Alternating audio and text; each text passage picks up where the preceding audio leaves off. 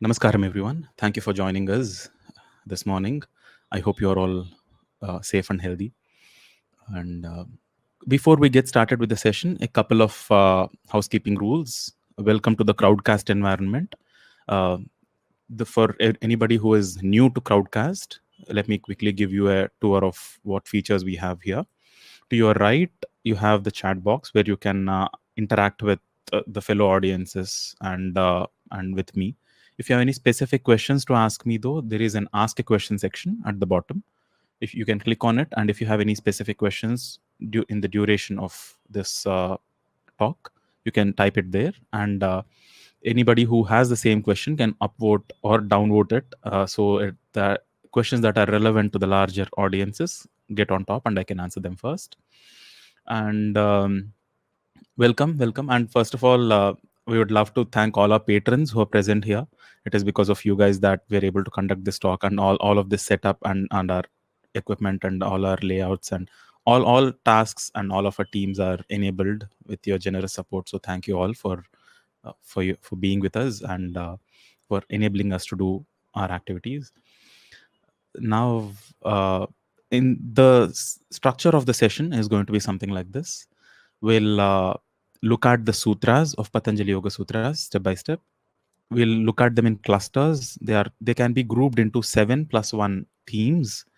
So all the 51 sutras of the first chapter can be themed or grouped into 7 plus 1 different segments. So we'll look at them segment by segment. And then at the end of the segment i'll look at question and answer section. And whichever questions are relevant to that particular part i'll take it. And uh, before even we get started with the first sutra of the first chapter the first pada of Patanjali Yoga Sutras called as Samadhi Pada. I'd like to, uh, I think it's important that I give you a quick introduction about myself and uh, why I consider myself, you know, what, what makes me eligible to even approach uh, the teaching of Yoga Sutras.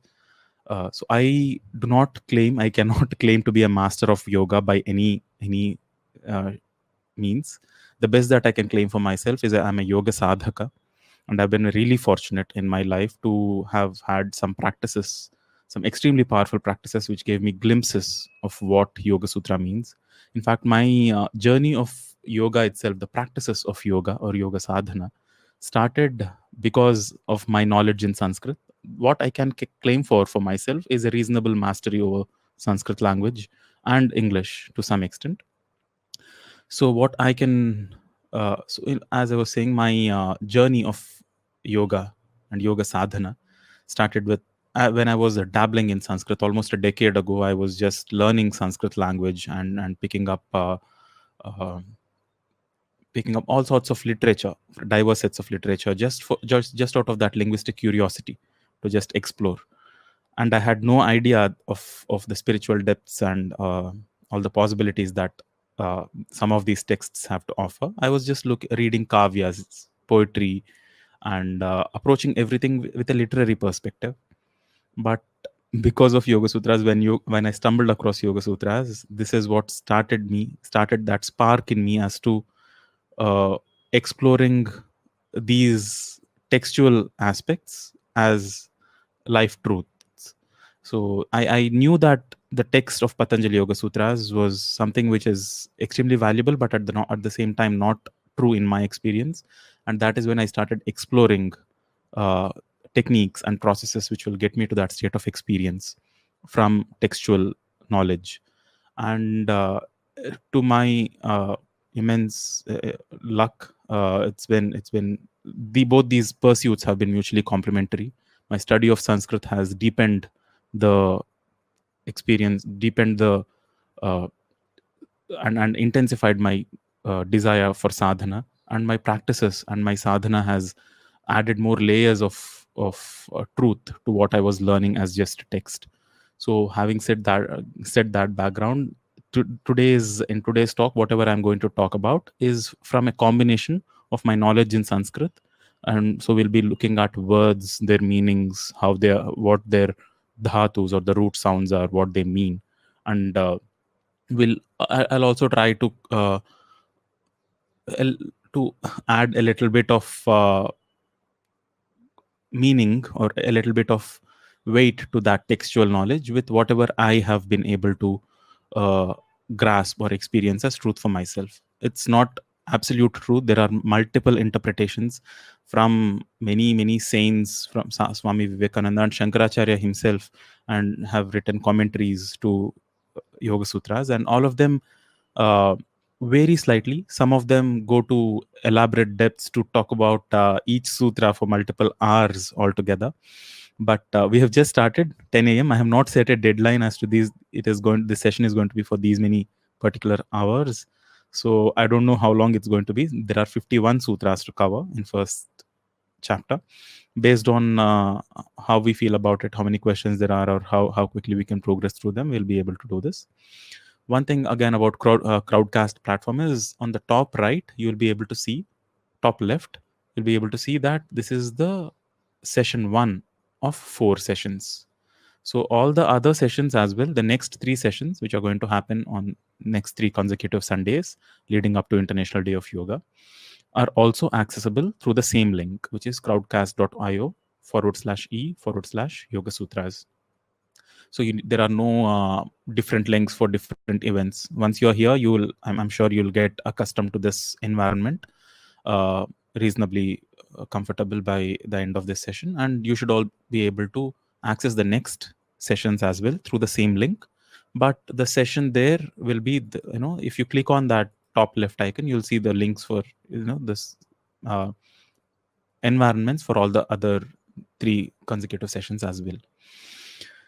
Uh, all right. I think all the uh, all the housekeeping rules are, are done. We can now dive into the topic of Yoga Sutras itself. And one uh, one more uh, one more I don't want to call it a disclaimer, but one more in point that I want to put across before we proceed is that yoga is not somebody's idea. It's not a thought process. It's not a philosophy. It's not a theory. Yoga is how life functions in general. It's you, the literal meaning of yoga is union and what our pursuit is is to understand and experience and know how that union is. Union already is in existence and live that truth within ourselves. It's not something that has to be grasped as an idea. It's not that by the end of uh, end of these four sessions also we'll we'll all be yogis.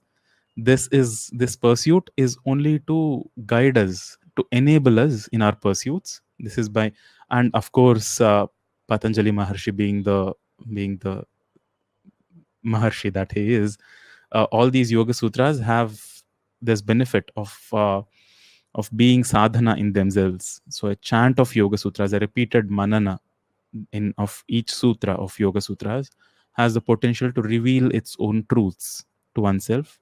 And of course, it is very important to get the right guru, be guided with the right practice and be empowered with that practice which will take one to deeper and deeper states of meditativeness and becoming a yogi. But in our pursuit we'll keep it to as uh, as textual a pursuit as possible. We'll look at as i said before we'll look at the sanskrit aspects of it and we'll i'll try to corroborate those uh, those sanskrit concepts those words with my own uh, understanding of it.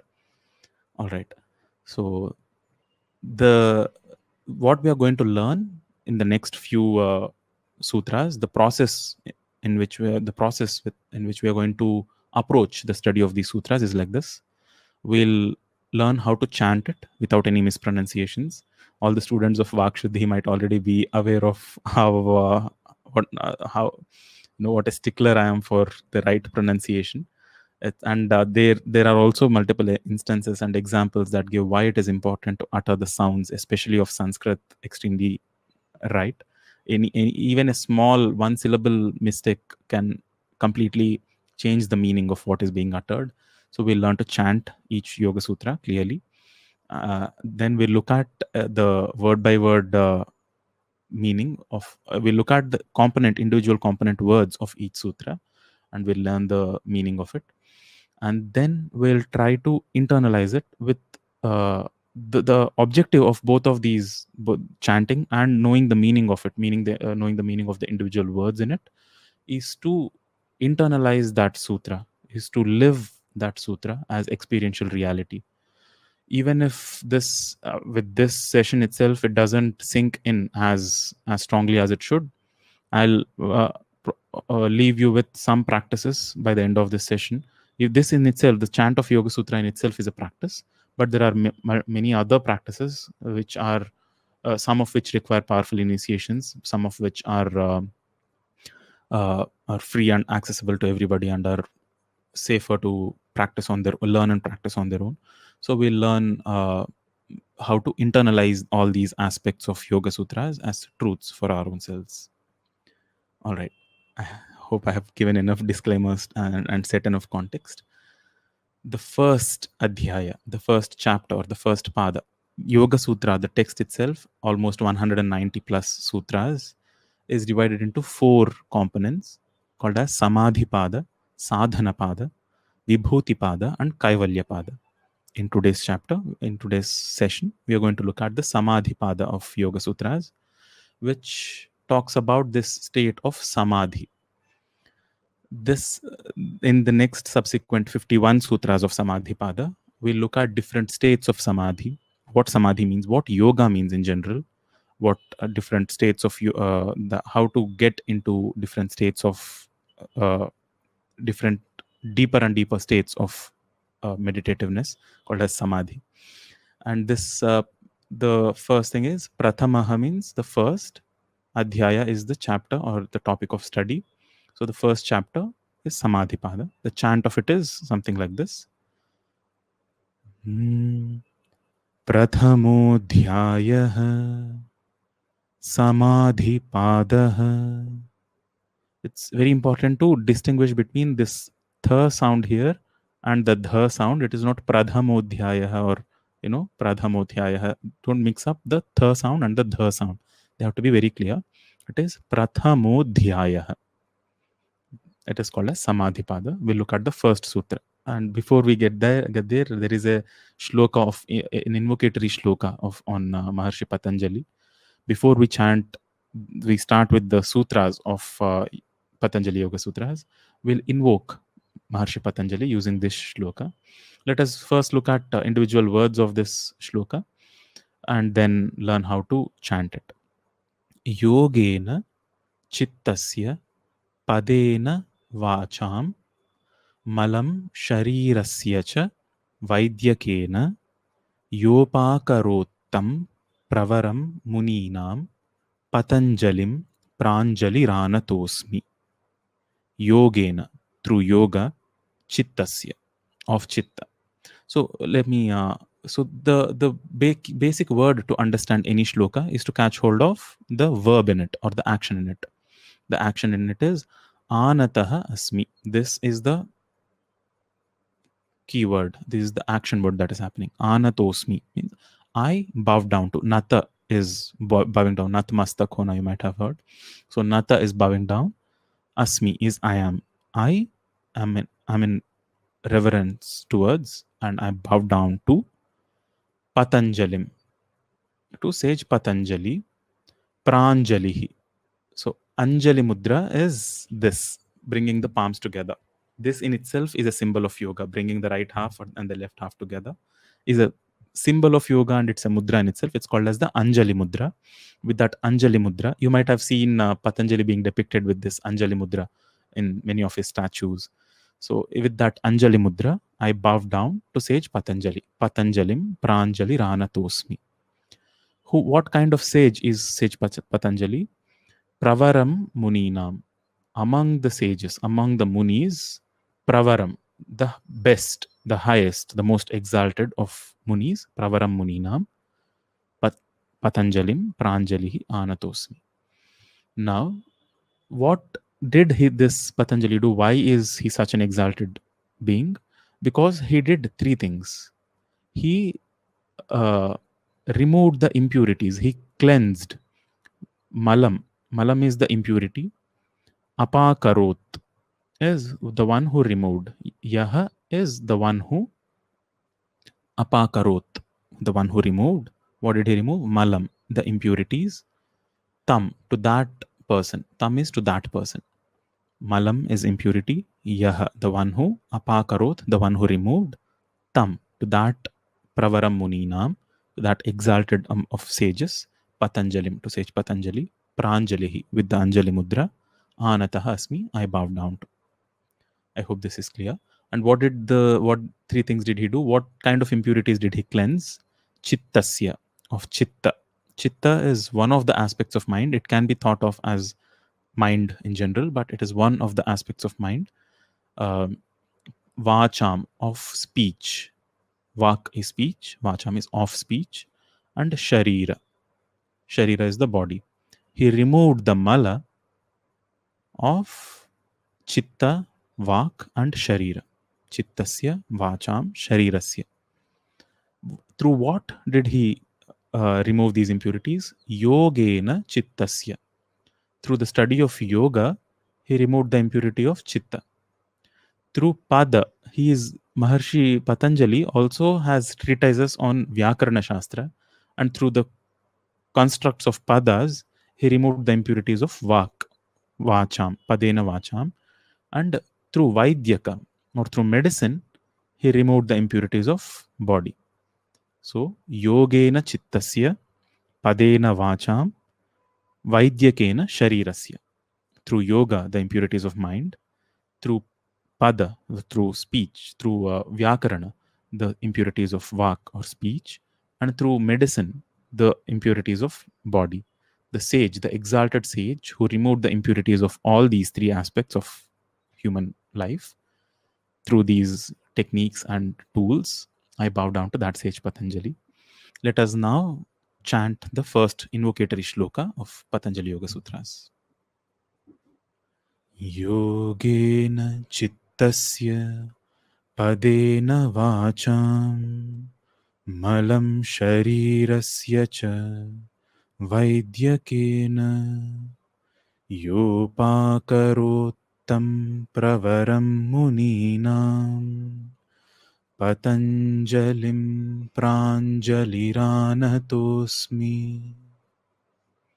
For people who are watching this on YouTube later on, you can uh, type in that link bit.ly forward slash download hyphen yst you if you down click on that link or if you type in that link and press enter you'll be able you will be taken to the pdf files which, which are very helpful uh, in uh, understanding and, and following the contents of this course so that you can download it to any other device and then uh, watch it and you can listen to this as a podcast and then go through that pdf and it will be useful for your self study all right we can get started with the first sutra atha yoganushasana. The first four sutras form a cluster form a segment of yoga sutras. They talk about what is yoga and why is it why to do yoga why is it even necessary. So the first four sutras form a segment. We can call we can call this segment as what is yoga and why. Uh, patanjali says atha and now yoga anushasanam. There are three words here. There is atha and yoga and anushasanam. These three words the literal meaning is atha is after all this after probably bhoga after looking at all sorts of things in life eventually arriving at this point where we are at. Now we we yoga anushasanam. We start anushasan you might have heard which means which literally means ruling which a rule or uh, you know a command. This is it can be interpreted as discipline anushasanam is not a discipline or not a rule which somebody else has imposed but which is self imposed it's a self discipline so in the first sutra itself patanjali says yoga is not the what he is going to talk about what as yoga and and the concepts of yoga now are not philosophies or ideas but it's self discipline at the end of the day. But why is that self discipline needed? What does it bring to people? What does it bring to us when we uh, do that self discipline of yoga is mentioned in the next few sutras. The first one is atha yoganushasanam. The next sutra says defines yoga in general. And one more thing guys is uh, you might have also noticed the sketches below. They are uh, we try to be depictive of what the meaning is of each sutra so that it it adds as a kind of a visual aid in uh, understanding and grasping the essence of uh, each sutra. And uh, it also acts as a reminder that it's not at the level of just words. You have to it it, it is a state of being. It's a, it's experientially known. So think of these visualize these as images and not just as words in your head. So the the deeper it goes the, the more you are you are able to internalize it the better it is. After oh there are already uh, questions okay. Okay let me quickly look at questions so far. Right so the first sutra is atha yoganushasanam. The next sutra says yoga chitta vritti nirodha there are three words here yoga chitta vritti nirodha yoga is basically nirodha. Niruddha or nirodha is control is cessation or stopping or or mastery control. These are uh, many words that are uh, uh, that can be used to interpret the meaning of nirodha. Many people have interpreted in many ways but the exact meaning of nirodha niruddha is stopping or bringing to a halt. What are we bringing to a halt? Chitta vritti. This is made of two words chitta and vritti. So one of these aspects of the mind has uh, these activities. Vritti many uh, indian languages also has this word. It is usually uh, used in the context of an of duty. But it has this it comes from the root sound the same sound as vritta which means a circle. Vritta I, I guess many of you in many indian languages know that it's a circle. So it says and because it vritti the word vritti is used to denote this activity because it has a cyclical nature to it it is not something that is done consciously but it is done compulsively and it goes on in its own cycles. And to bring a halt to bring those compulsive activities of one of the aspects of mind called chitta to a stop is yoga.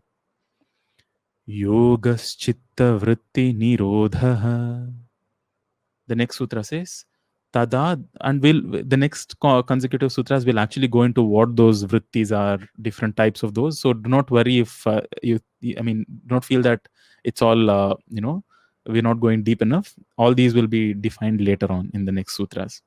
But the third sutra in the third sutra he answers why why should we bring a halt to it? What will happen when those compulsive cyclical activities are brought to a halt? Tada the word tada means and then drashtu स्वरूपे sorry drashtu स्वरूपे अवस्थानम। अवस्थानम, स्थिति स्थान is situating in और being established in अवस्थानम being established in drashtu स्वरूप। स्वरूप is in the form in of who of द्रष्टा। Of द्रष्टा is द्रष्टु। Of the seer drishti it comes from the word drishti to the one who's the process of seeing is darshanam. The the power to see is drishti and the one who uh, sees is drashta and of that drashta is drashtuhu. And then tada drashtuhu swarupe avasthanam. Who is the one who sees? Oh, this is all personal. This is about one's own self. So within you when you think about it if if there is uh, there are all these activities going on cyclically in the mind there is somebody at the background who is experiencing all of this who is the witness to all of these events that are happening. So the the that sense of being me the sense of if i'm uday so at this age i i know that i am i'm, I'm conducting a class i'm taking this i i have all of this going on i have the sense of all the sensory inputs coming in the one who sees and experiences all of this is drashta. This this drashta whatever mindsets we are in whatever emotional states we are in whatever thought process we are in whatever ideologies we have they they can they might keep changing through different phases of our life. When childhood we were thinking uh, our thought process was one way. When we are uh, when we are young when we are in our teens our thought process is a different way. But when we grow old our thought process changes. And many things about us changes uh, from our physicality to our mental states to our emotional states. But that witness that sense of that that seer that sense of okay i this is when i say i am uday that sense of me that is constant. Just all of these has to be uh, thought about and personally anvaya or or personally applying that to oneself in life. And seeing that is most important to understand this uh, so try to apply those apply these uh, texts on these sutras to oneself to yourself and and try to live them uh, and and try to be in them. So what will happen by bringing the cyclical activities of a of the mind to a halt? The true nature of the one who perceives as as me within the true nature of that one becomes established in one gets to know. The meaning of it is written as it is then tada that one is established avasthanam in the true sense of the seer of the one who sees drashtuhu swarupe the, on the swarupa of drashta. The fourth sutra says vritti sarupyam itaratra. Vritti sarupyam itaratra the word itaratra means elsewhere. You have heard the word ekatra or anyat ekatra which means at one place anyatra which means elsewhere. Itaratra is otherwise.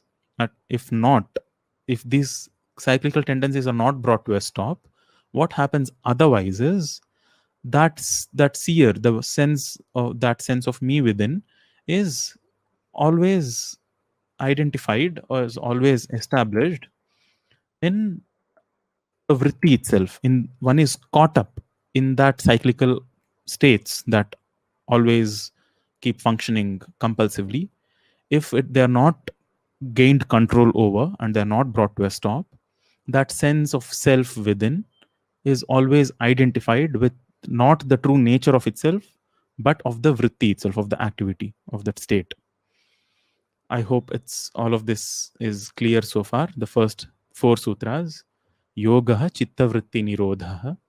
Tada Drashtu Swarupe Vasthanam Vritti Sarupyam Itaratra. The first one is Atha Yoga Anushasanam, of course. Now the discipline of yoga. Clear. all, all right, perfect. There are questions. All right uh, Omananda, eh, I, I I'm guessing that is the uh, with seven apotsas. Namaskaram. Is there a set poetic meter for chanting the Yoga Sutras? As you might have noticed, these are sutras, not shlokas. So there is no set chandas. Each sutra is a short sentence with no set rhythm or rhyme. So you can chant it whichever way you want. But it's it's good to have that flow of speech to it. So it's chanted as vritti sarupyamitharatra. You can as well have said it as vritti sarupyamitharatra. But when you want to do it as a chant, there is no rhyme or or melody. But if it's if there is a flow to it, it's nice. But no chandas or poetic meter, as you asked. Okay, no no more questions pertaining to these four sutras. Let us move on to the next uh, set of sutras. The next uh, how many? Next 5 sutra 5 to sutra 11 talk about these compulsive states so patanjali mentioned that otherwise you're identified with or, or, or, with these compulsive states of chitta what are those states what is chitta what is that chitta and what does it do what what are those five states that chitta is constantly uh, stuck in that is mentioned in the next sutra vrittayah panchatayah klishta klishtaha these vrittis that i talked about the uh, that Patanjali talked about. Uh, Vrittayaha, Panchatayaha. Pancha is five. There are of five kinds, these vrittis. There can be either klishta or aklishta. It's not always the case that these vrittis, these compulsive states, are complicated or, or they cause suffering. They need not always be klishta. They need not always be complex and complicated and lead to suffering they can also be pleasant states it's not that only the unpleasant state is the problem even the pleasant states are compulsive in childhood we have this i don't know if you know this uh, uh, this saying that if you are happy for no reason and you're jo- very joyous and you're bubbling around on one day then the friends used to say oh if you're so happy then you'll you know immediately uh, hardships will come. It's uh, it's it's said with uh, with a with a kind of a, a superstition but it has some basis behind it which is because you have unconsciously gone into such high states and pleasant states.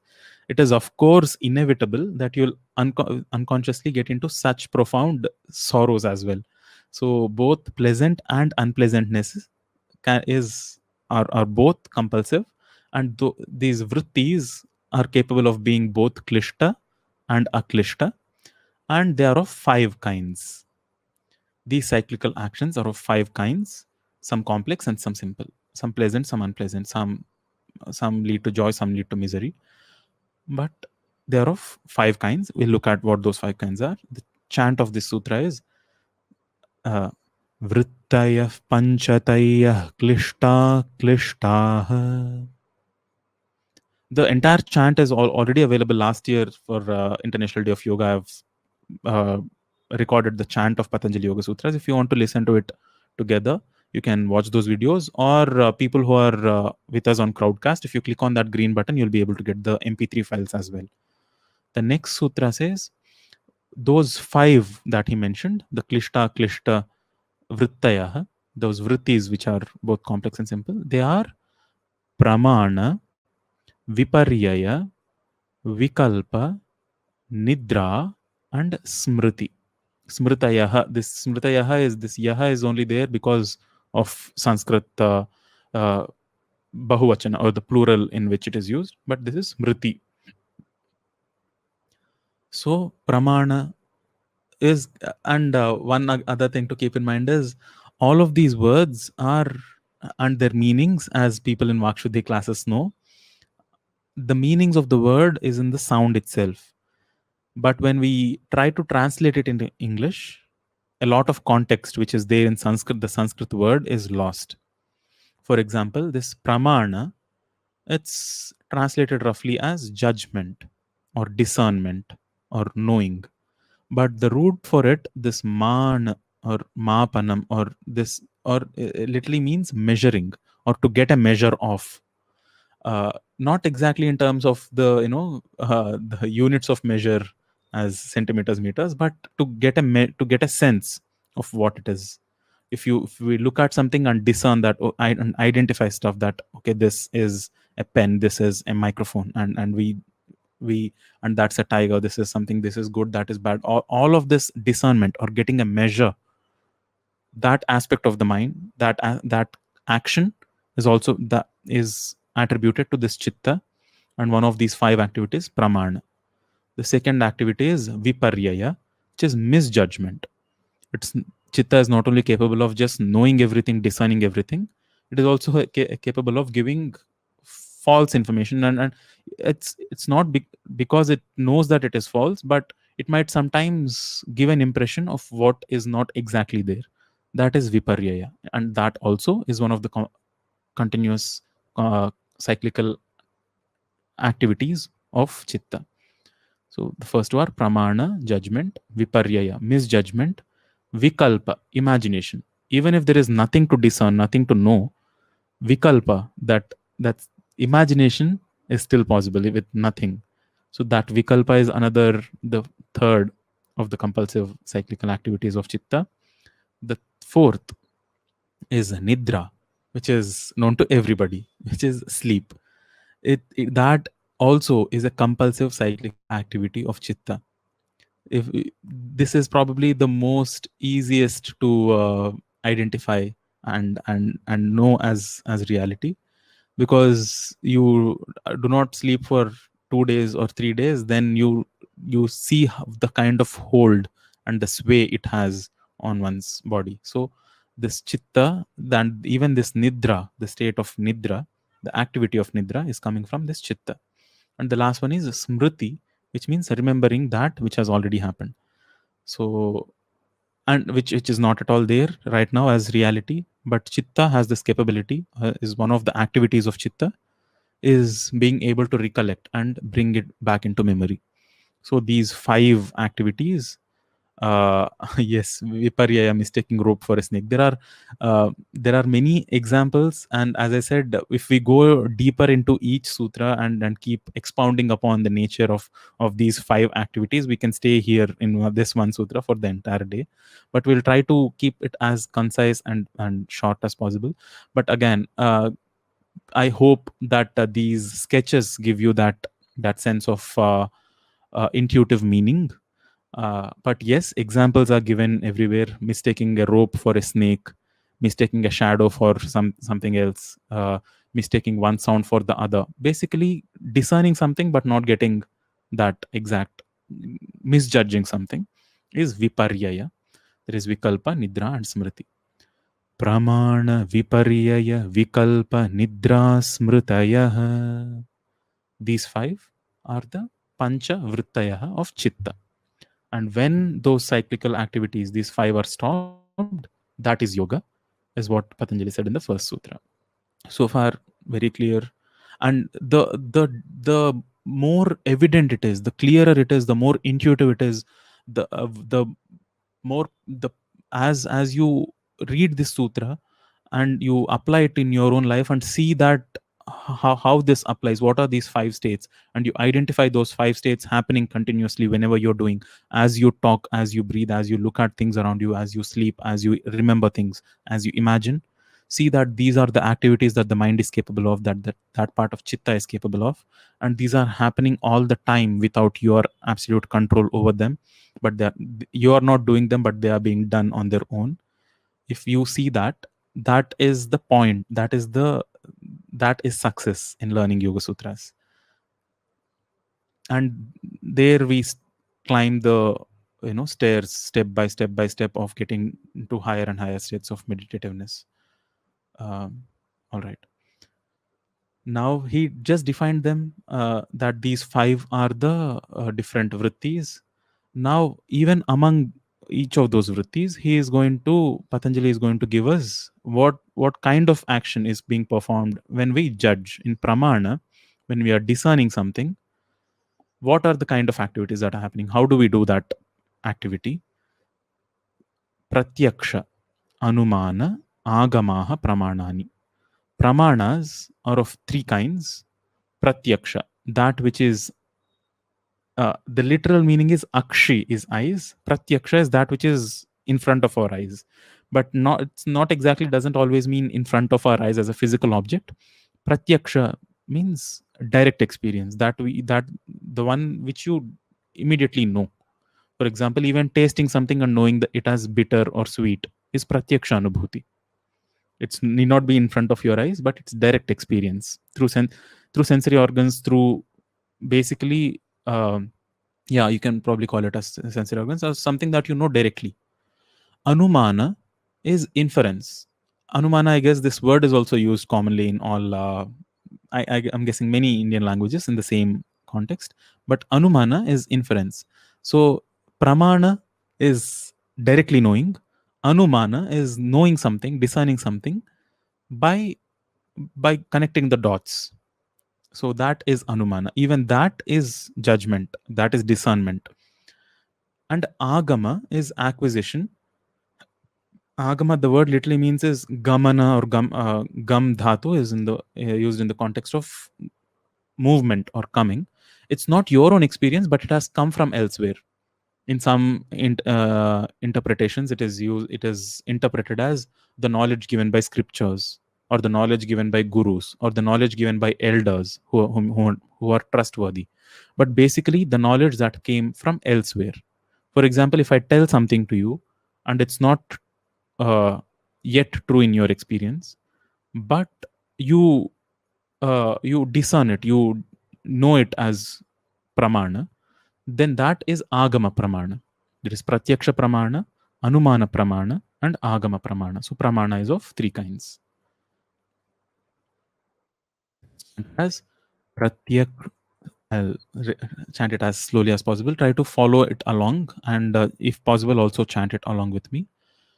Pratyakshanumanagama pramanani. The next one is uh, uh, so he uh, he uh, defined what these uh, pramanas are. He does the same uh, same thing for all the other five, all the other four states as well. He does it for all the five vrittis. The next vritti, which is viparyaya or misjudgment, is defined as such. Vipar- viparyaya mithyajnanam atad rupa pratishtham. Viparyaya or misjudgment is illusory or false knowledge which is rooted in the misidentification of truth.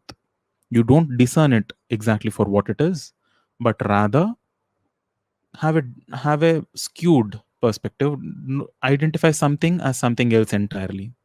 And this was this is one of the this is the second compulsive activity of chitta. I guess this is very uh, intuitive and very obvious kind of a sutra. Uh, as uh, I don't know, I, am sorry, I forgot the name.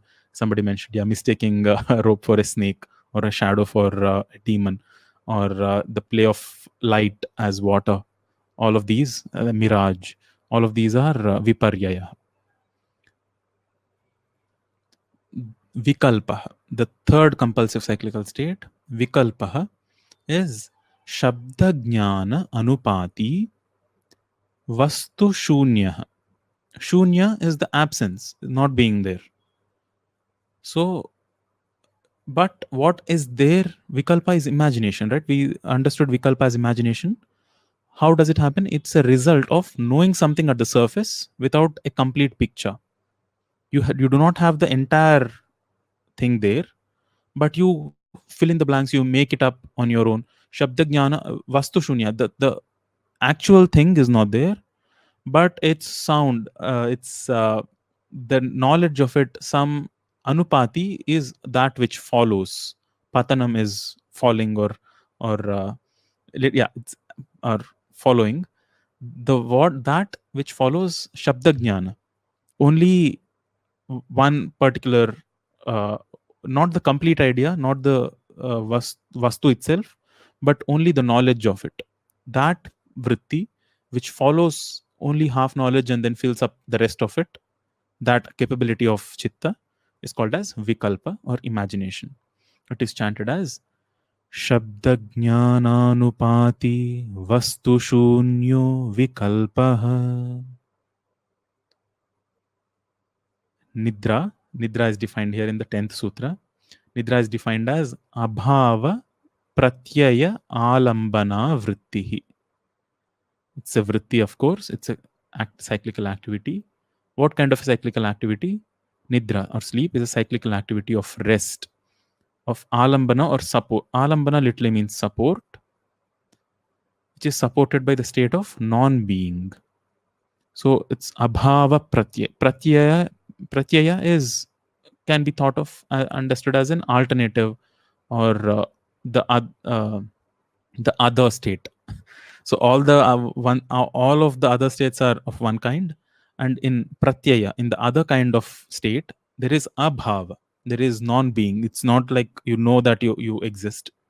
But uh, there is abhava or non-being that is uh, the best it can be put i guess. Uh, that kind that type of vritti or activity is called as nidra or sleep. This is the fourth of the vrittis of the, of chitta. Have we chanted this yet Abhava pratyaya alambana vrittir-nidra. One more thing that uh, these chants are helpful for is to know where to place emphasis and where to directly, uh, where to not place emphasis. And to, of course, identify Mahapranas and Alpapranas. It's Abhava.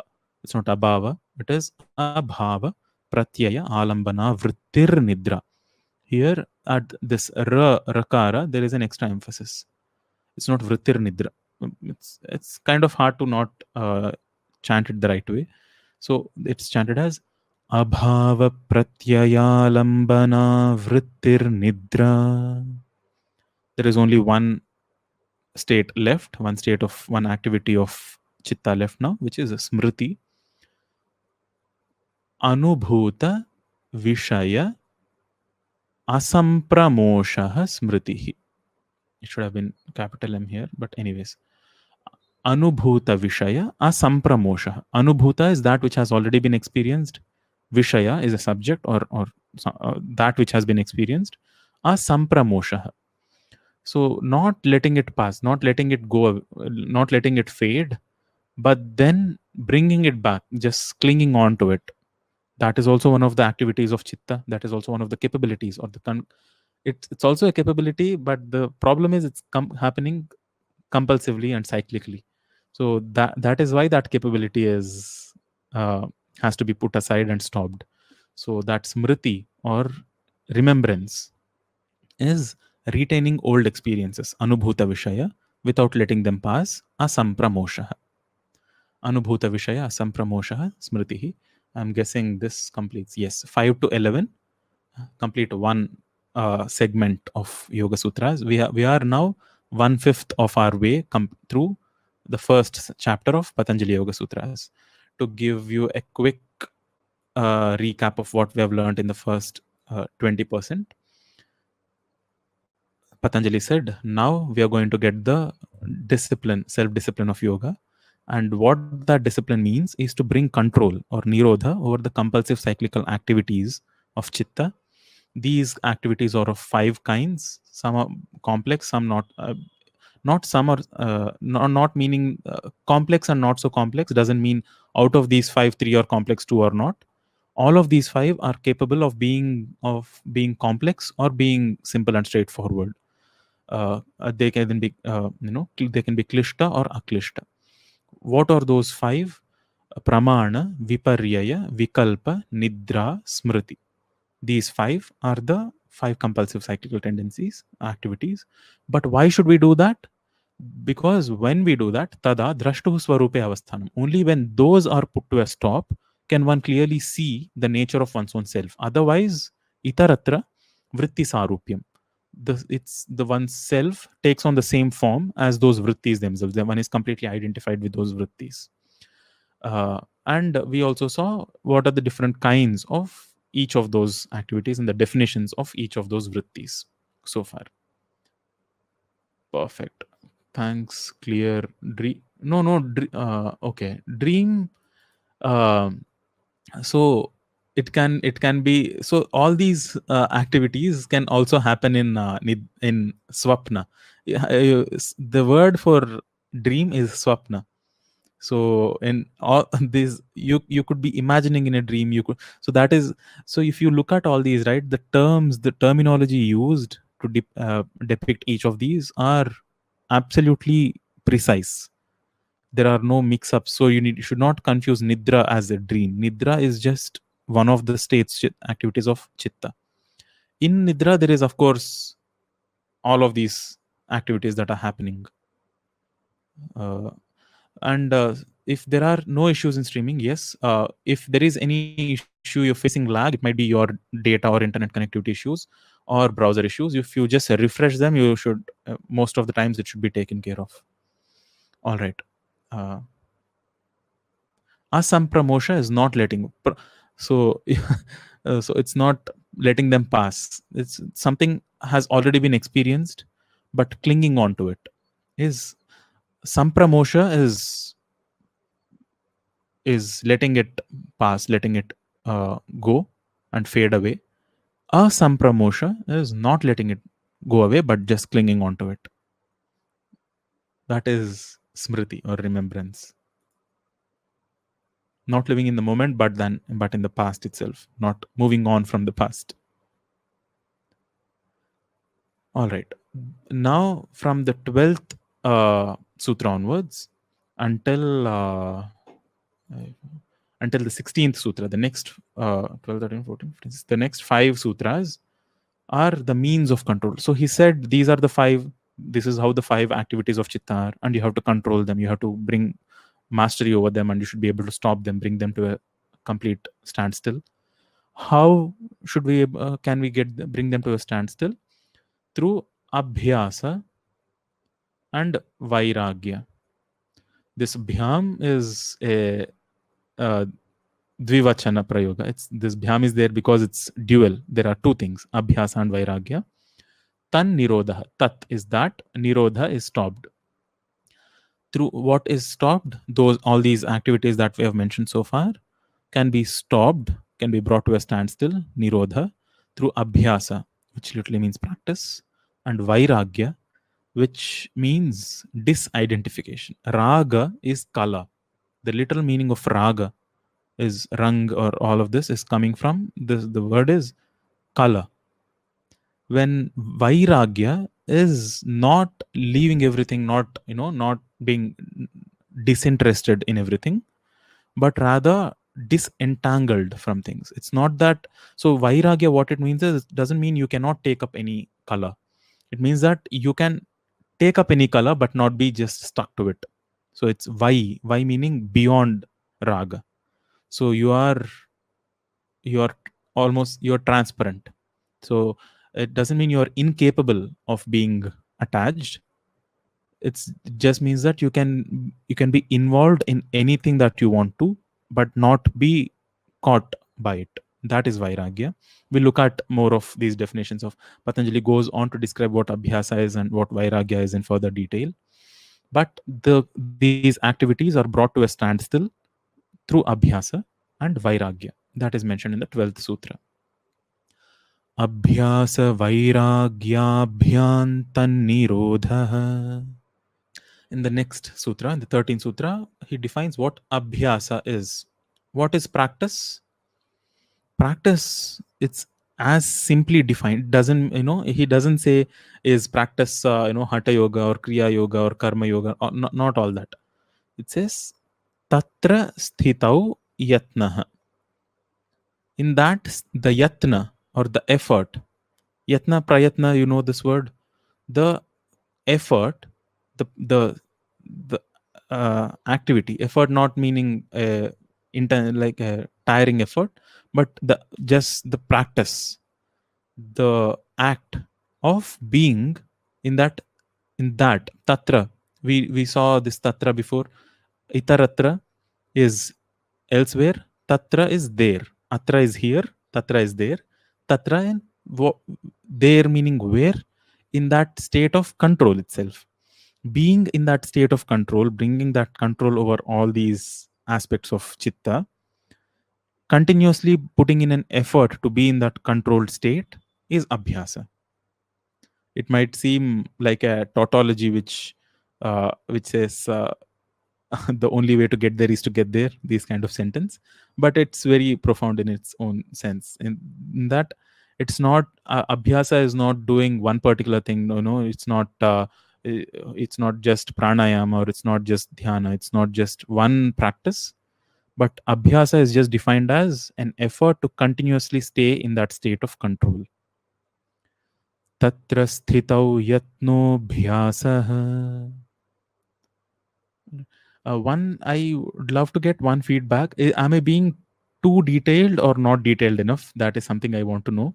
Because uh, because there, there are many ways to approach it. One can just talk about one particular sutra for hours as i said before and at the same time i could just chant it and then read the meaning and move on but i hope there is a this this is a reasonable uh, midway point between both these extremes but if there is uh, perfect okay perfect thank you but if you have any doubt somewhere le- let me know and i can uh, stay there for some more time. But sutras which are simple enough will uh, move ahead.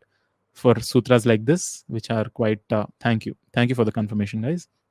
Precisely detailed, somebody says. Perfect. All right. Thank you. Next uh, sutra is talks about that abhyasa itself. What should be the nature of that abhyasa? Satu that. Saha is that. Uh, one of the forms of that. Tu that is dirghakala is dirghakala is a long time dirghakala kala it's a simple enough word nairantarya antarya meaning gap. antaraya or antara is a gap is taking up. nairan ni, the, before that there is nihi nairantarya meaning no gap it's uninterrupted. satkara is well done. karya karana krudhatu doing something. How how is it done? satka with it's done well how is it asevitaha is performed satkara is it's well performed how is it performed nairantarya it's uninterruptedly performed and dirghakala it's performed for a long time. When that abhyasa is done with dirghakala, nairantarya, and with satkara, then it becomes drudha bhumi. Drudha is firm or stable.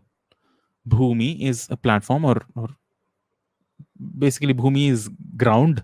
It becomes firm. You are established on firm ground in that practice when you do it for a long time without any breaks and with a sense of reverence with doing performing the activity well basically so the what this says is it is strengthened drida bhumi it becomes by prolonged dirghakala uninterrupted nairantarya and well performed satkara performed is asevitaha application of action application of that practice.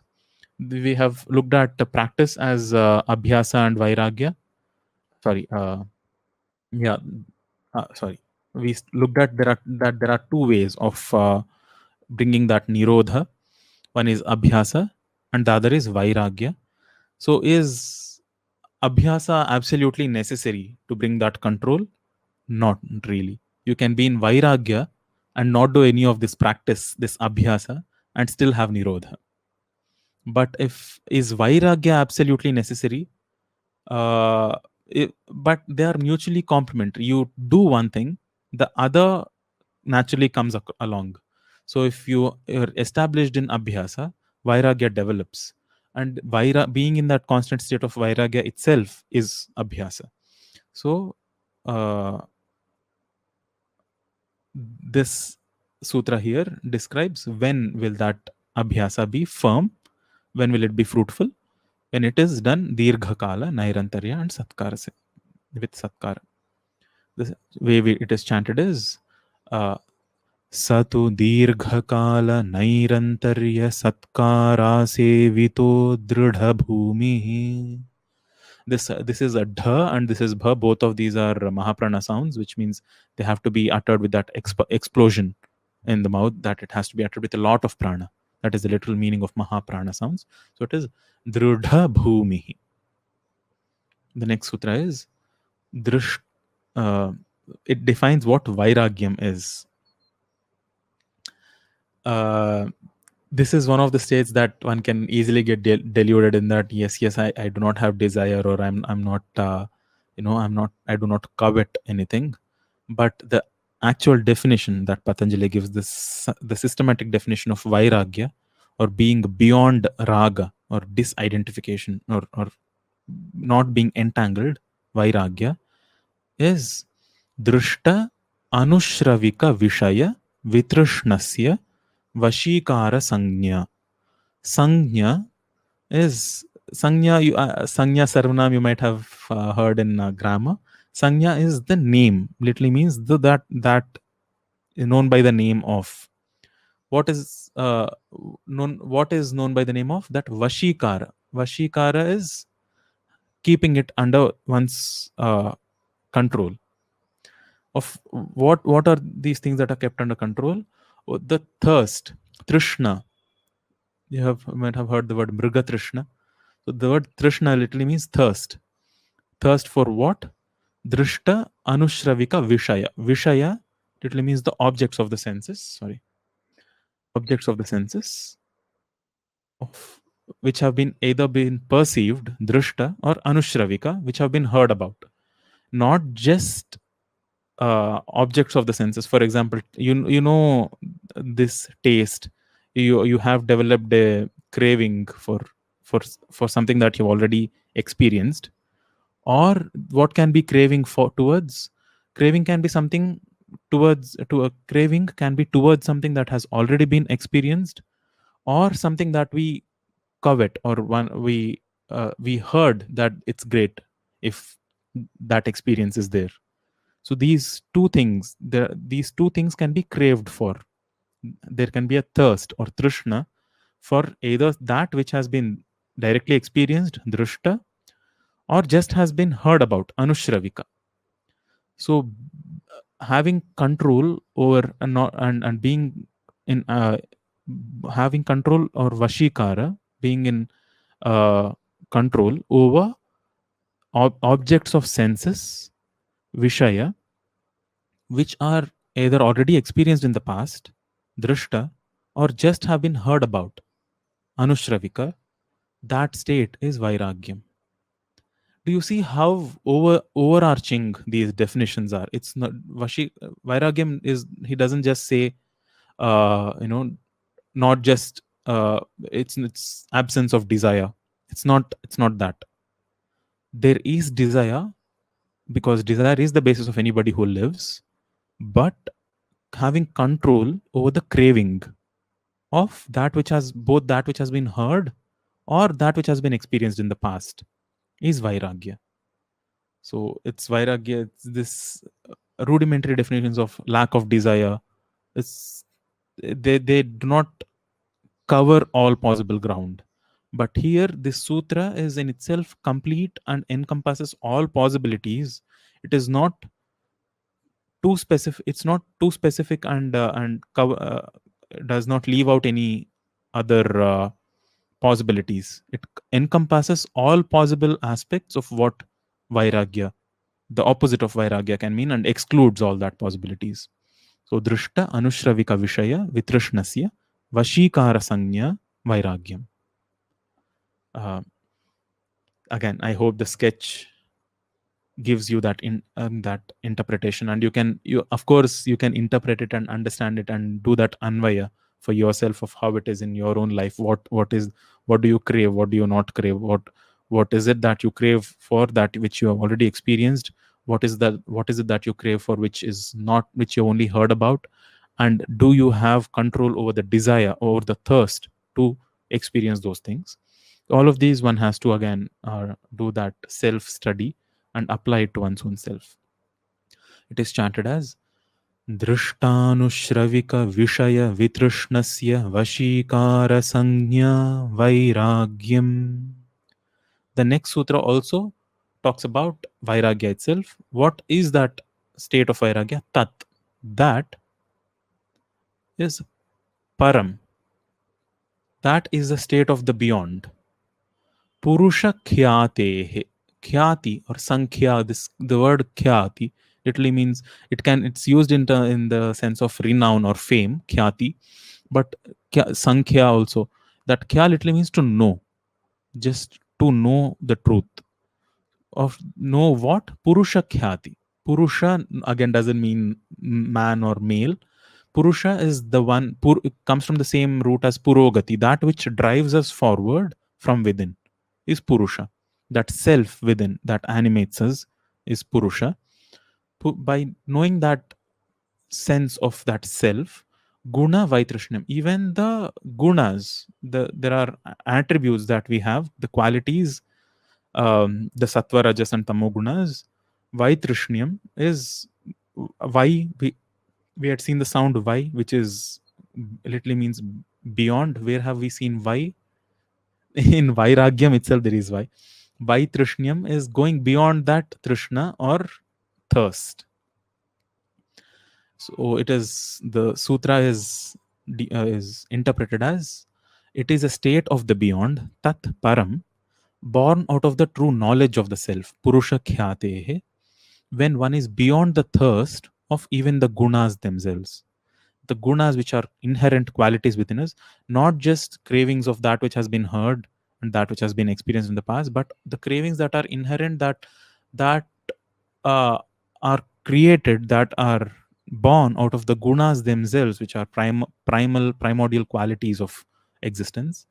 The desires that are born out of even them are uh, one is beyond even the thirst of gunas themselves so that is uh, vairagya it is this sutra is chanted as tatparam purushakyater gunavaitrushnyam so these complete the next segment. We have 16 completed 16 sutras of Patanjali Yoga Sutras.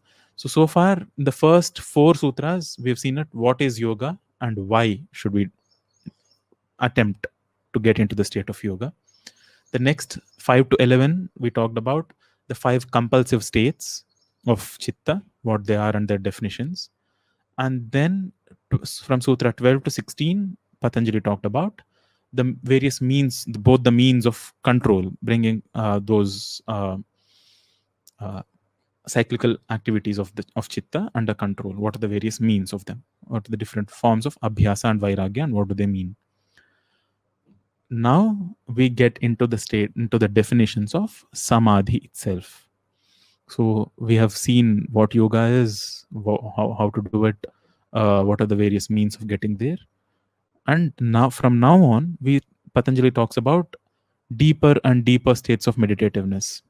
In my experience it's not necessary that one has to go through each of them in that particular order we're going to look at various kinds of samadhi called samadhi called samprajnata asamprajnata sabija nirbija savitarka nirvitarka. All these kinds of samadhi it's not necessary that one has to progress sequentially through them.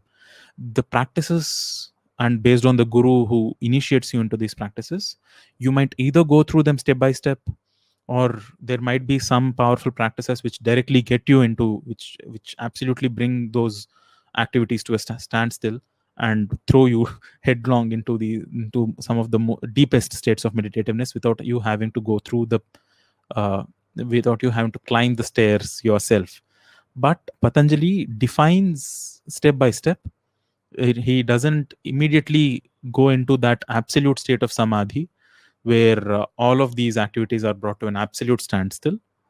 But when abhyasa and vairagya are on when that practice of cessation of activities is on what is the sequence what is the step by step sequence in which one slowly gets into deeper and deeper states of samadhi and what are the terms for different levels of those of, of meditativeness so that one can one passes through. Now, the first of those meditative states is Samprajnata Samadhi. This sutra defines what Samprajnata Samadhi is.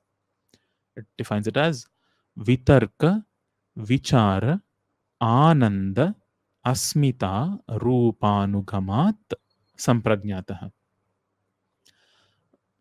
संप्रज्ञात समाधि विच is equanimous और that state of samadhi will look at what संप्रज्ञात is in in a few moments that संप्रज्ञात samadhi is a state which is a consequence anugam which follows anugam anu, we saw that anu is something that is after, gamanam is going. So anugama is some is a state which is a consequence, which follows vitarka.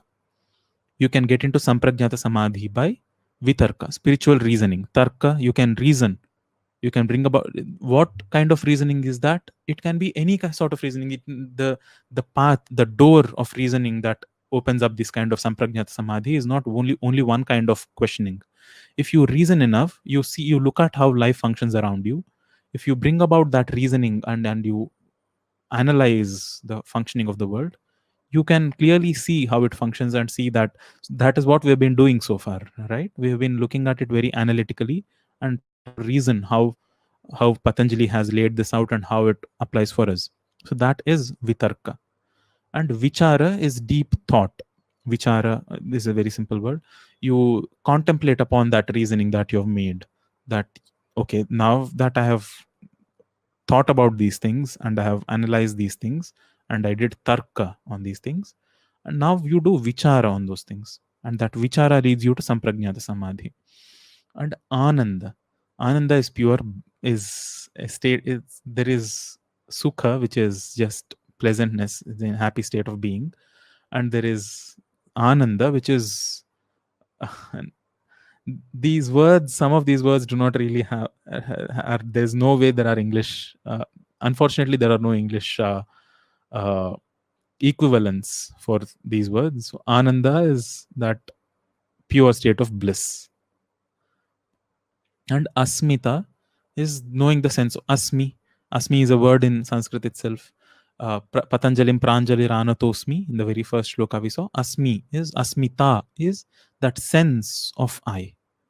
So by all of these, how many methods are there? By vitarka, vichara, ananda, and asmita.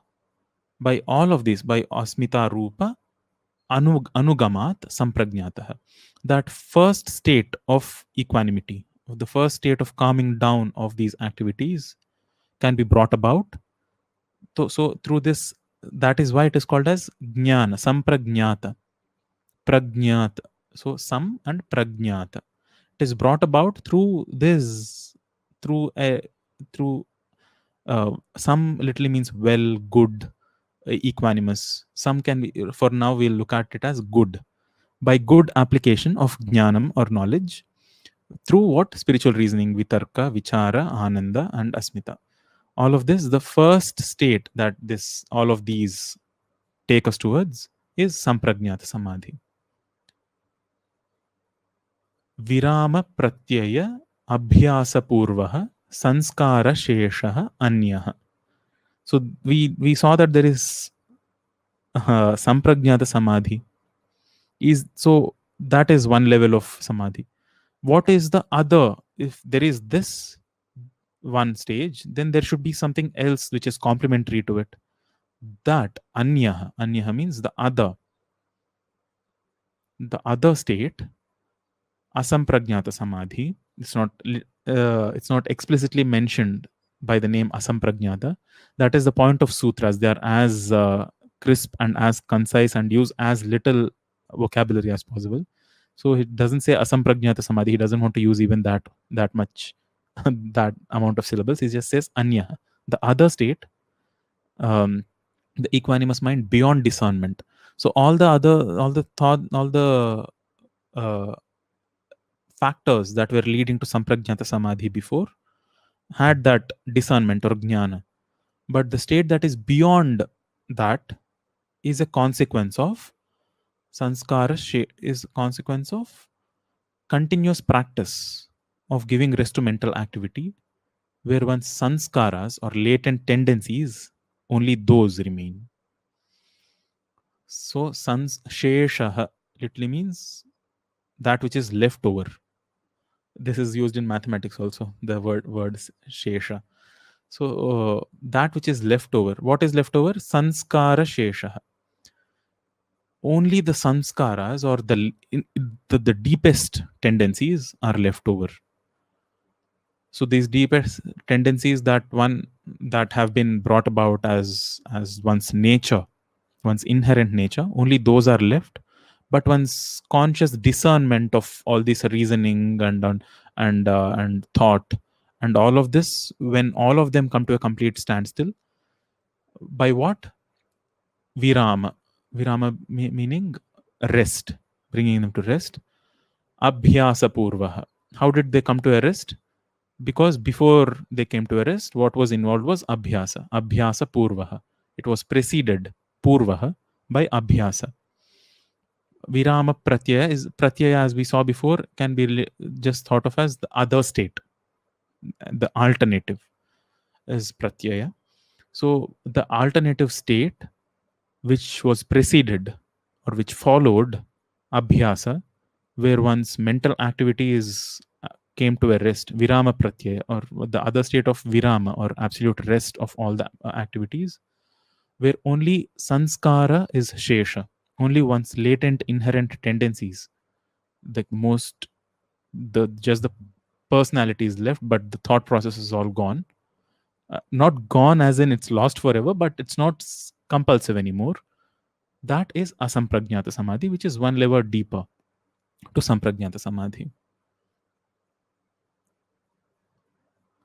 How is that some asampragnata samadhi brought about?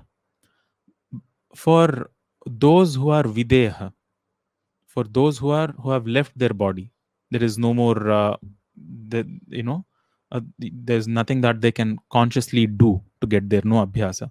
For them for videha for those who do not have their body so this not just uh, concerns about those who are in their bodies those who are embodied but even after one leaves their body uh, Patanjali does not discriminate between all of those beings because even they are in compulsive states. Uh, so for those who are videha and for those who are prakriti laya, videha prakriti layanam, for those these two kinds of beings, the beings who have lost their bodies without their bodies, and prakriti laya, and those who are immersed in their own nature, in their own sense of self. For these two kinds of beings bhava pratyaya this asampragnata samadhi is brought about through uh, this state is caused just by just bhava bhu sattayam the sound bhu bhavati bhavani uh, sambhavaha uh, all this bhava literally means being just being. So all these disembodied beings and those who are just immersed in their own uh, state of self this asampragnata samadhi is brought about not by abhyasa or any other effort but just by the state of but just as a natural consequence of just being. Itaresham for others meaning those of us who are listening to this talk of course itaresham those who have not lost their bodies and those who are not just sitting in in bliss in immersed in, in their own selves how is that caused shraddha virya smriti samadhi prajna purvaka. Purvaka again it is preceded by which means it what does it mean when it says purvaka? It means it is before this happened this was there. It preceded that which means this state follows uh, follows what? Uh, shraddha steadfast focus that again comes from dhi which means one is absolutely focused one is uh, keen and immersed. One has, has one's dhi is immersed in that that is shraddha steadfast focus virya with immense energy smriti constant remembrance and samadhi equanimity samadhi equanimity and prajna perception.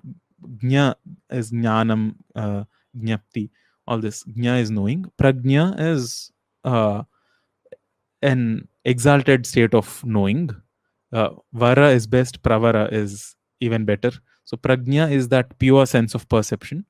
So this for all the others which means for all the others who have who still have their bodies and who, who are not yet in the state of just being immersed in prakriti laya for those who are not videha and prakriti laya that is what itaresha means. For all of those that asampragnata samadhi that deeper state of meditativeness is brought about by steadfast focus with intense and by rising up their energies to a higher pitch through uh, constant remembrance what what to remember that we'll look at in so after this pada, the second pada of uh, Yoga Sutras is called as Sadhana Pada, which talks even more about sadhana. There, all these concepts become even clear through constant remembrance by by employing that aspect of chitta and uh, through constant practice of samadhi and prajna through pure perception. Of course all of this means uh, is necessary is necessary because the body is still there and we are not yet immersed in the sense of self. So all of these activities are needed and they are they are they occur before asampragnata samadhi for those who are not videhan prakritilaya so asampragnata samadhi in those who are not videha and prakritilaya, those who are embodied and not immersed in their own sense of self, is brought about through the effort, through constant effort of all these uh, things, through Shraddha, Virya, Smriti, Samadhi, Prajna, Purvaka, Itaresham. I think uh, we have. No, even the next two are in the same. Okay, segment samveganam asannah very very intuitive. tivra means intense or extreme. samvega is effort or or the one who approach it with with with uh, with that state with that resoluteness. So with asannaha it's near it's easily attainable. Simple. The, uh, it, it's because uh, the in the previous uh, sutra it might feel a little daunting that oh for those who are have not lost their bodies and for people who are not yet there there so many other things are needed before one gets into asampragnata samadhi. Patanjali says, not so. For those who are really intense, it's asanna. For tivra samvega, it is very simple. masanna. I hope you're also following uh, the sketches below. So they, they kind of act as uh, guides to interpret the sutra, simpler sutras easily for yourself. Um, even in that uh, approach, in that resolute approach, there are different kinds of resolute approach. There is mrudu, madhya, and adhimatratvat. Tataha api visheshaha. Even here, this resolve, the it, it's defined in three different. It can be categorized into people who are, uh, you know, mild, mildly approaching that that asampragnata samadhi, or those who have middling effort, who are okay, like they are. uh, so basically, it's just categorizing the efforts of people. He says he wants people to be intense uh, about their sadhana uh, and they, you you know for yourself how how intense you are with your sadhana how is it is it lax or is it you, you do it occasionally on on full moon or new moon days or you know special occasions? Or is it really intense that every single day or or every single breath you you you just are there in that effort of uh, shraddha virya smriti uh, samadhi prajna? So uh, how are those efforts being put they fall under three categories roughly. Some are mild some are uh, medium and some are intense is what he says. So until now we looked at these states of meditativeness the states of samadhi which are sampragnata and asampragnata samadhi. In sampragnata that it is it is the first level of getting becoming meditative where you employ your reasoning and your thought and you uh, and you uh, uh, and, and you try to be blissful ananda and uh, you try to get into an equanimous state of mind where you do not where the hold of those compulsive cyclical activities slackens slightly. That is sampragnata and for asampragnata where those that thought process and that reasoning is all not necessary and it's beyond those states shraddha virya smriti samadhi all these are needed. And prajna these are needed for asampragnata and it's of different kinds. Now, in the next, okay. I, I, okay, I'm, I'm guessing it's all uh, clear so far because uh, some people are saying thanks, some people are saying he didn't say it should be intense, just noted the categories. Yeah, he just matter of factly, casually said, yeah, there are different kinds of people. For those who are intense, it comes easily it looks at how again right? It, for somebody who is who is intense and who who reads this it is almost a commandment that oh my god i should now now that i have this information with me i should be in the tivra category. Some people might not really feel that necessary but yes as uh, as cb Rauji said uh, he patanjali is just noting these down as because these are facts of life. It's he's not imposing anything he's just noting making observations. Um, and now he says there is one more way of uh, sorry one second. There is one more way of getting into these deeper states of meditativeness which is through ishvara pranidhana. Va is also or va literally means or. You can do all of these before shraddha virya smriti samadhi prajna all that and be tivra samvega or, or, or, do, or do all of that. Or you can simply abide. You can simply be in the in ishvara. This probably is one only is the only sentence which talks about devotion. Because Patanjali is an analytical person. He's a he's a scientist more. He's a scientist sage. So this place, this one sutra is the only sutra probably where devotion or bhakti is is mentioned. It, uh, even there, not as some kind of a you know sweet state of emotion beyond logic. Even here, he just says you can either do that or you can abide pranidhana. You can be, you can meditate, and you can just immerse in Ishvara And he goes on to just even give a technical description to what Ishvara is, what God is. What uh, so what does Ishvara mean? क्लेश कर्म विपाक आशयैः अपरामृष्टः पुरुषविशेष Ishvara. Who is Ishvara? So uh, you, you can, uh, please also pay enough attention to the uh, to the sketches, guys. So I, am sure they will give you. uh, I mean, I'm sure they'll give you better insight. Uh, there is the saying, right? A picture is worth a thousand words. So I'm sure after all this, uh, after you know me shouting hoarse, the images can do a better job of conveying that sense intuitively rather than all this word circus that i'm doing so please pay attention to the images is what i wanted to say ishvara pra- ishvara pranidhanadva or it can also be attained through pranidhana abiding in ishvara who is that ishvara klesha karma vipaka ashayaihi aparamrishtah purusha vishesha Ishvara. Vishesha is that distinguished sense of Purusha, of self. Ishvara is not somewhere out up there or you know in temple or in, in one particular city or in, in, heaven. Ishvara is that distinguished sense of self, that exalted sense of self.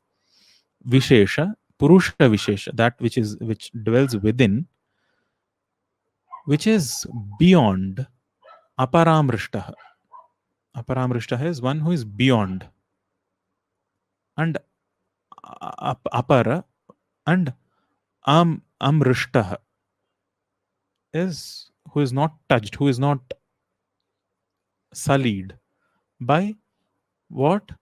By klesha afflictions karma actions vipaka the results of those actions and ashaya the intent to perform any action.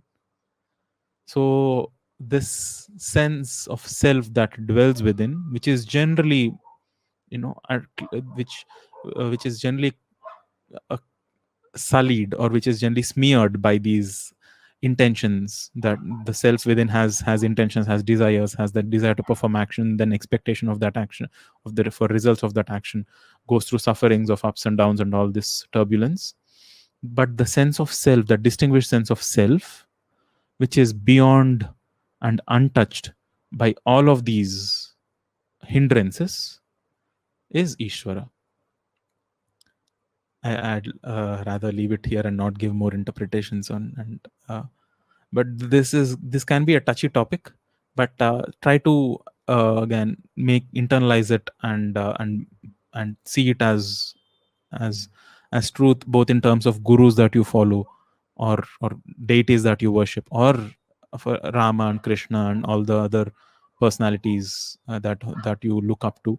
See how this definition applies to all of them. So, yeah. Tatra niratishayam sarvagnya bijam. Tatra is again there. Niratishayam sarvagnya bijam. In that Ishvara is contained the seed, bija, of all knowledge. Sarvagnya. Just look at the sketch. That sense of self, where is it within you? Who is it? Ishvara. When is it Ishvara? When is it when it is when that self within is untouched and kept aside from klesha, karma, vipaka, and ashaya. And there itself is the seed of all knowledge. So whatever there is to know as knowledge about life maybe not uh, you know uh, everything that is an outpouring i don't want uh, again i am not a master of yoga so i would i don't want to claim that i have all these within myself. I, I do not. But fortunately there have been glimpses where these kinds of where you want to understand something when you want to crack open one one one uh, field of knowledge. You see you just uh, think over it. You not not exactly think but you just calm yourself to that state of meditativeness and that that meaning and, and that knowledge dawns upon you. Why? Because it's all contained within that sense of pure form of self called as ishvara. So tatra tatra niratishayam sarvagnya bijam. I loved this uh, sketch especially because it it's that that seed within uh, contains all knowledge in itself and it also depicts womb in a in a in a in a certain way. Um, so yeah yeah appreciate all the uh, sketches for for the beauty that they have and the simplicity and the and the profoundness that they have. Um, all right the next sutra is sa purveshamapi guruhu kalena anavachedat because of the circular because of the unbreaking uninterrupted unavacheda. Cheda is splitting. Chidra cheda chedan shirachedan. Uh, cheda is breaking. Anavacheda is not being in not having that property of being able to cut as uh, not being able to split as having a beginning and an end. If you can split something there is a beginning and an end. But because of the continuous nature because of the cyclical nature of time of of anavachedat of what? Of kala. Kalena anavachedat because of that unending or unsplittable nature of time which is a continuous cyclical process kala chakra. That ishvara sa which ishvara? The ishvara that dwells within. Purveshamapi guruhu. That ishvara is the is the guru is the illuminator okay wonderful. The same word. Is the one who gave this knowledge. Is the one who illuminated all those who came before. There are hundreds and thousands of of great masters who have known their own self who have come before. Purva purvesham. Who taught this knowledge to all of them? Who where did this originate from? From ishvara. Because this knowledge is all within that ishvara in a seed form. Where is that ishvara it is within this it is the purusha vishesha. It is the self it is the exalted state of self that dwells before dwells within. And that ishvara that dwells within is also the guru or the illuminator. Gu meaning darkness gukaraha andhakarasyat rukaraha tan nirodhakah so gu is the darkness guha is a cave because the sound gu itself represents darkness. And ru is represents light that splits away that cuts through darkness. So the one who gave this knowledge to the ones who came before to the where did this knowledge all this knowledge originate from? It is from that person alone saha. Which who is that saha? Ishvara i hope uh, these I'm, I'm again repeating myself.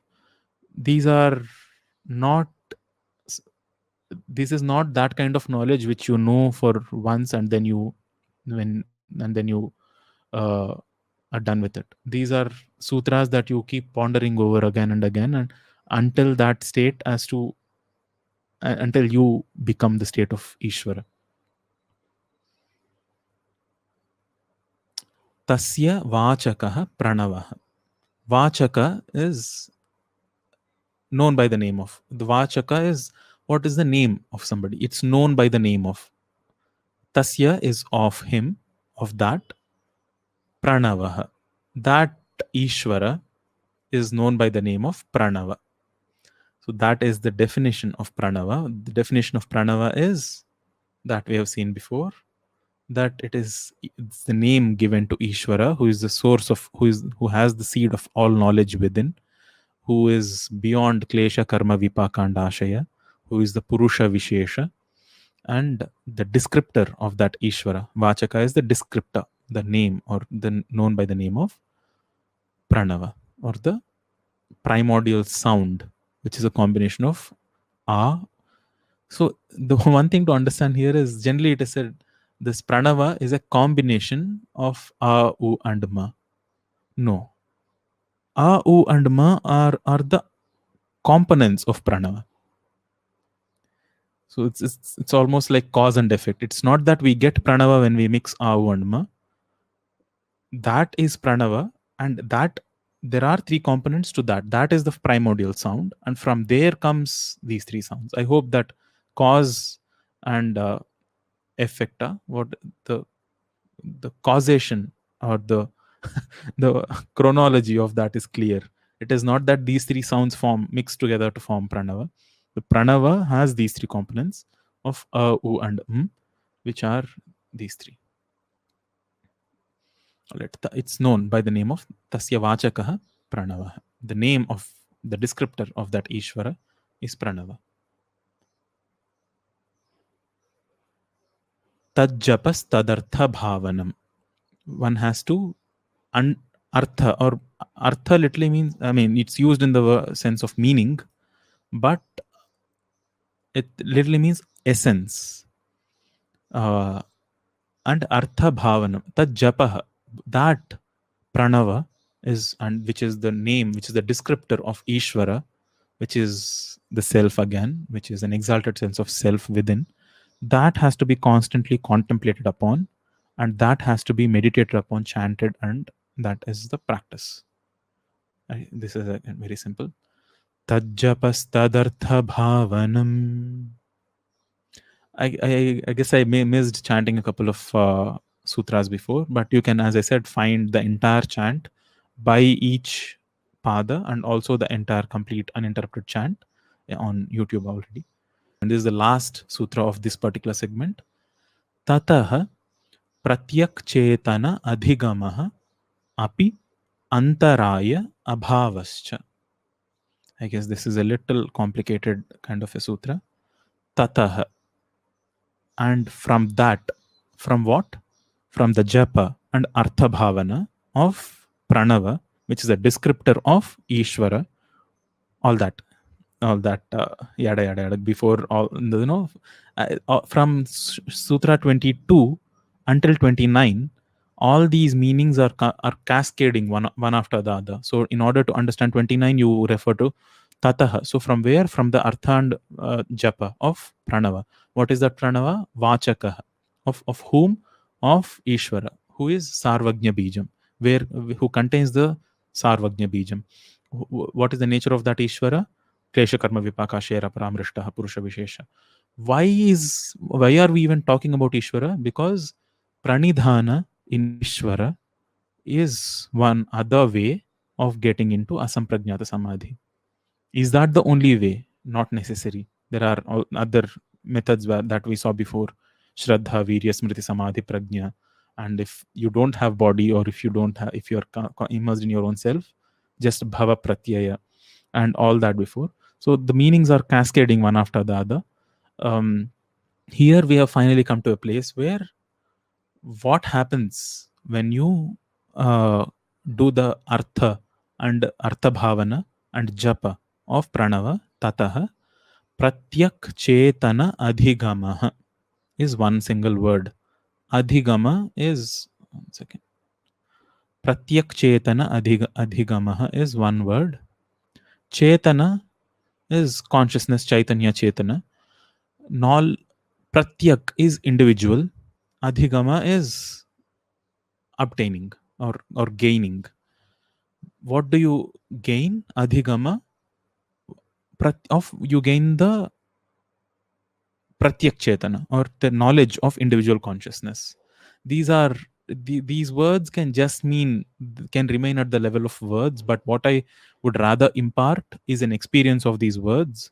So by constant meditation and constant contemplation over the essence of pranava or the primordial sound arises the knowledge of individual consciousness and also antaraya abhava. Antaraya means obstacles. We'll see what obstacles are in the next few sutras. Abhava is lack. We saw abhava before once. Uh, where did we? Maybe we did not exactly see abhava. We saw bhava pratyaya. Same. Bhava is being abhava is not being not being of what antarayas antarayas or obstacles when do you not have uh, obstacles or antarayas tatah tatah is from the meditation and from the contemplation of meaning of what of pranava ततः प्रत्यक्षेतनाधिगमोऽप्यन्तराया bhavascha. So, from the meditation upon pranava, you gain the knowledge of individual consciousness and also remove and, and dissolve any obstacles. Until here is one segment. All right, questions? Yes. Yes, Poojaji. Abhava pratyayalambana vrittir nidra. Uh, so, yes, that state of non being. Here, the obstacles get into a state of non being, which means obstacles are removed. That's absolutely correct. Yeah. Thank you so much for reminding me. All right. We can get into the the next uh, group of sutras are from 30 to 39 so these let's let's look at them one by one he said uh, patanjali said with the japa of uh, pranava what happens? Pratyak chetana adhigamaha and antaraya abhavaha what are these antarayas? What are these obstacles that get removed by the japa of pranava? Vyadhi disease. Styana, procrastination, samshaya, doubt or hesitation, pram- pramada, negligence, alasya, laziness, avirati, failure to not cling, which means just coveting all the time, not being able to not covet, if that makes sense. Failure to not cling is avirati. There's a double negative there. I hope it's avirati so not being able to give a pause if you start eating chips not being able to put it down basically. So you find these examples everywhere and you have to constantly uh, ponder over what the meaning of it is how it is apply, applicable in one's own life.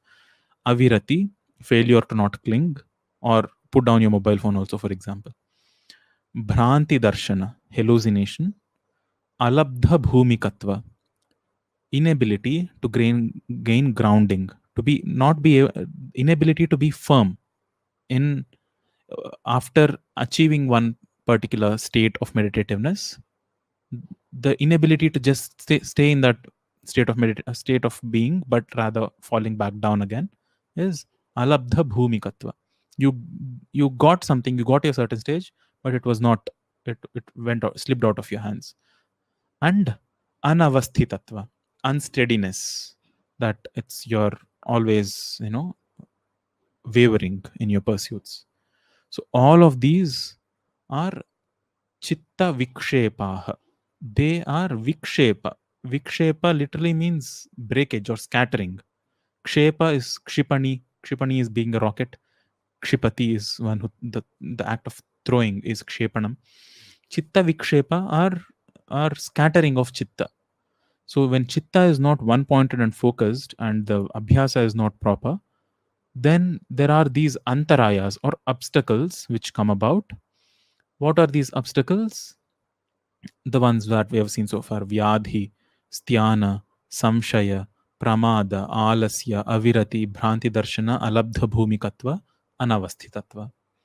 I don't want to go deeper into each and every one of these obstacles. I'm sure all of us have some or the other kind have faced and relate with one or the other obstacle that is present here. If not all of them, I hope nobody is nobody is facing all of them together. But at different stages of life, there is different. Uh, I'm sure uh, all of us have faced alasya and pramada and samshaya and uh, avirati for sure, and probably all of them have been faced.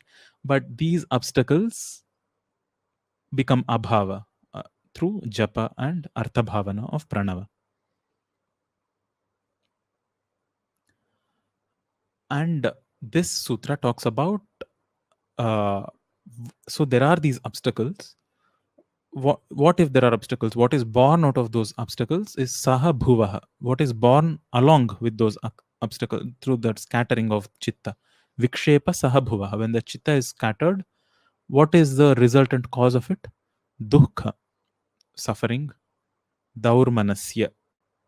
Manas becomes duh, which means depression. Literally, I mean, it can be interpreted as depression, where uh, the it's the manas gets downtrodden. It, it feels low. Anga mejayatva. Anga is uh, the limbs, and losing control over the limbs is anga mejayatva and shwasa prashwasa labored breathing and and you know just not the breath not being easy and and uh, and relaxed and soft and, and smooth you you notice this that when you do pranayama when you when you do this abhyasa the one thing that is immediately noticeable is how soft and silky the breath becomes. Just the process of breathing becomes so easy and so pleasurable. So and the opposite of it when the mind is scattered these are the symptoms that are shown. If that should not happen if all of those have to the uh, obstacles have to go away if the symptoms have to go these are the symptoms right? These are the results of what? Of a of a scattered chitta.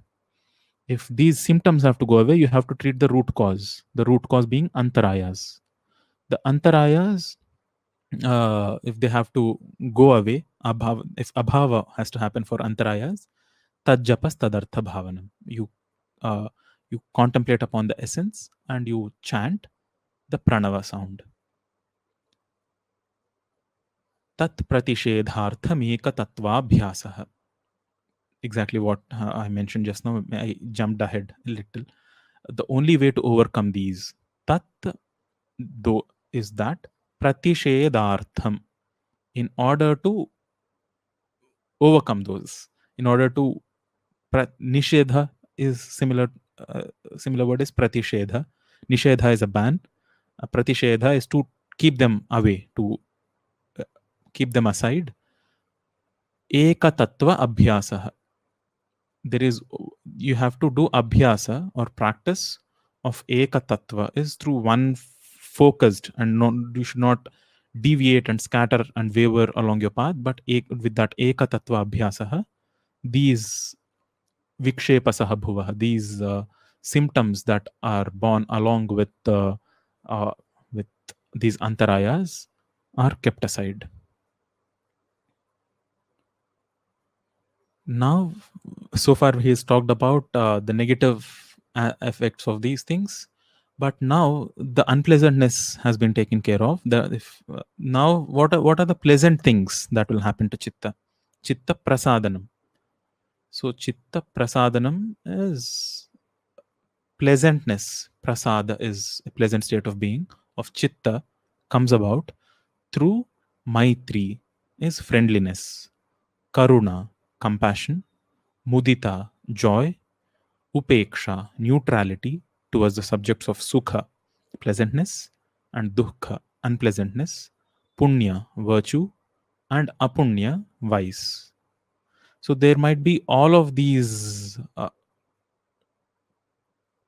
what is this? Contradictions? No. What all of these uh, dualities which one might face there are ups and downs and upheavals and and pleasantnesses but upeksha but karuna mudita upekshanam uh,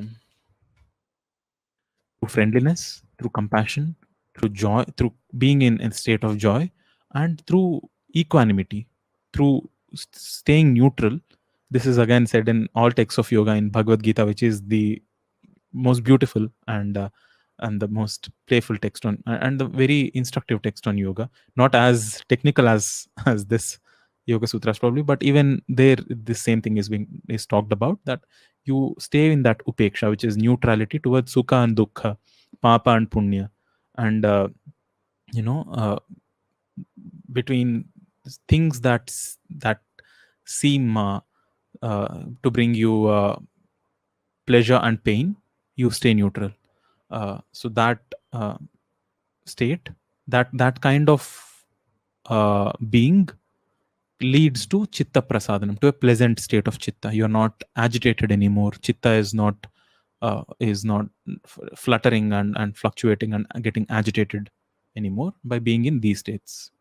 The other uh, okay we'll, we'll look at the other uh, the other option is being in antarayas and their vikshepa sahabhuvas and these two are mutually complementary uh, mutually yeah complementary. That either you can be in the this state of chitta prasadanam or in that chitta vikshepa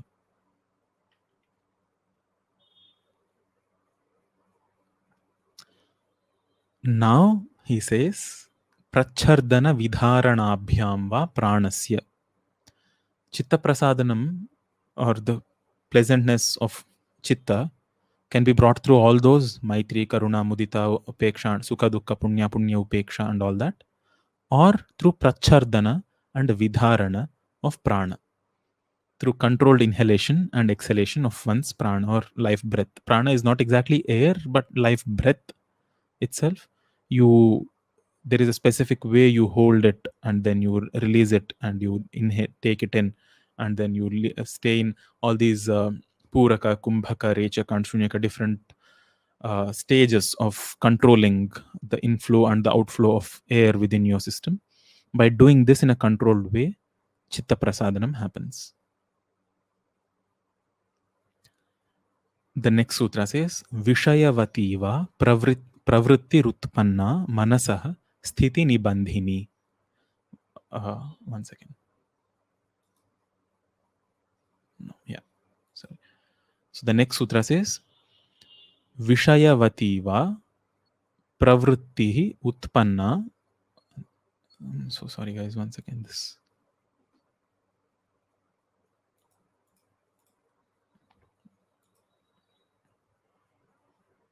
All right.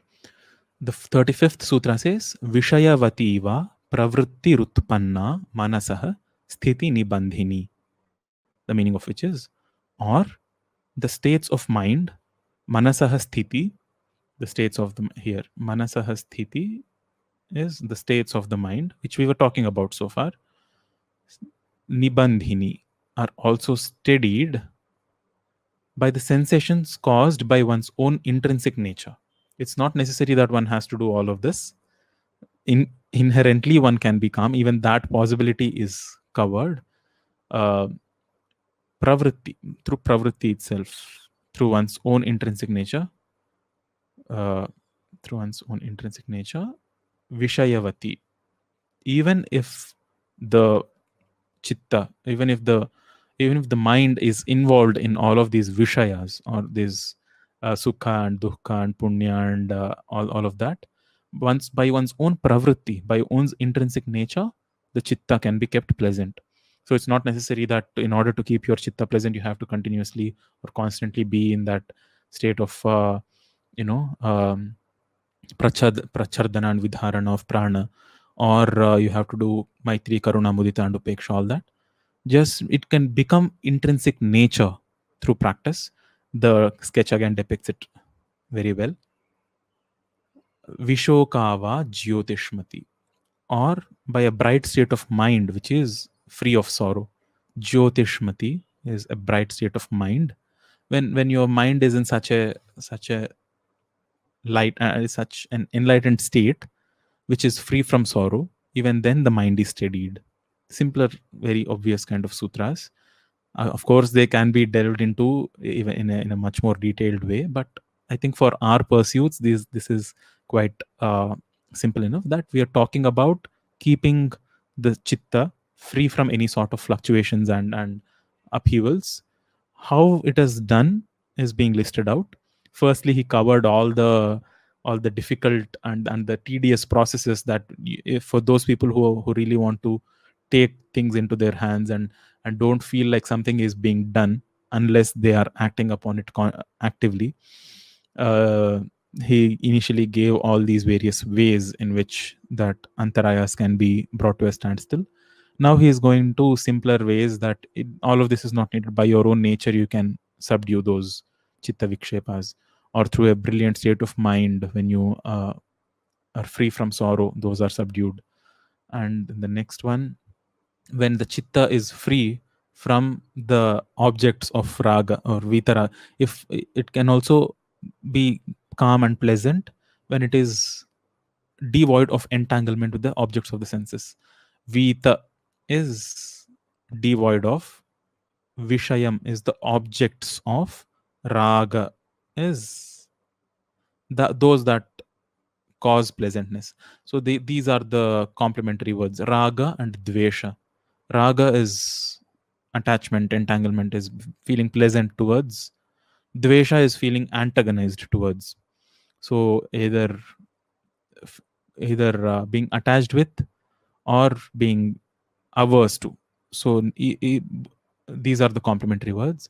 F by keeping the uh, mind uh, devoid of raga vishayaha, it can still be content and un- unfluttering and unfazed. Swapna nidra jnana swapna nidra jnana lambanam or by seeking the support in the knowledge of dream and sleep states. This is a very interesting uh, sutra because I'm guessing this is in the experience of uh, many of us listening to this as well. Um, have you noticed that uh, sometimes the dreams that you had the uh, night before are extremely clear and sometimes i mean it's it's best to of course not have any dream dreamless deep states of sleep but when you're doing if any anybody who is practicing yoga sadhana you do your yoga sadhana very intensely on one particular day and there is a dream that happens. The next day you are able to recollect it and kind of see it very vividly very clearly you can recollect it. But when the sleep is disturbed or you're not your sadhana is on again off again then even despite you knowing that there was this kind of either a you know pleasant or an unpleasant dream or whatever dream it was despite it being vivid during the dream state uh, after you wake up it's not as clear. But your ability to recollect it and to be able to analyze it and, and just know that okay this know clearly that this is dream and this is reality it becomes much more clearer when your sadhana is on I don't know if anybody uh, 1.38 needs explain. That is why I have stopped. um,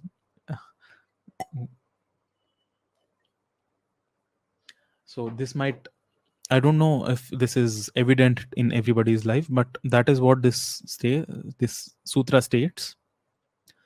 That one other method of keeping the mind pleasant is through the knowledge, is, to, is seeking support in the knowledge by knowing that this is what is this is what my dream was and this is what has caused my dream.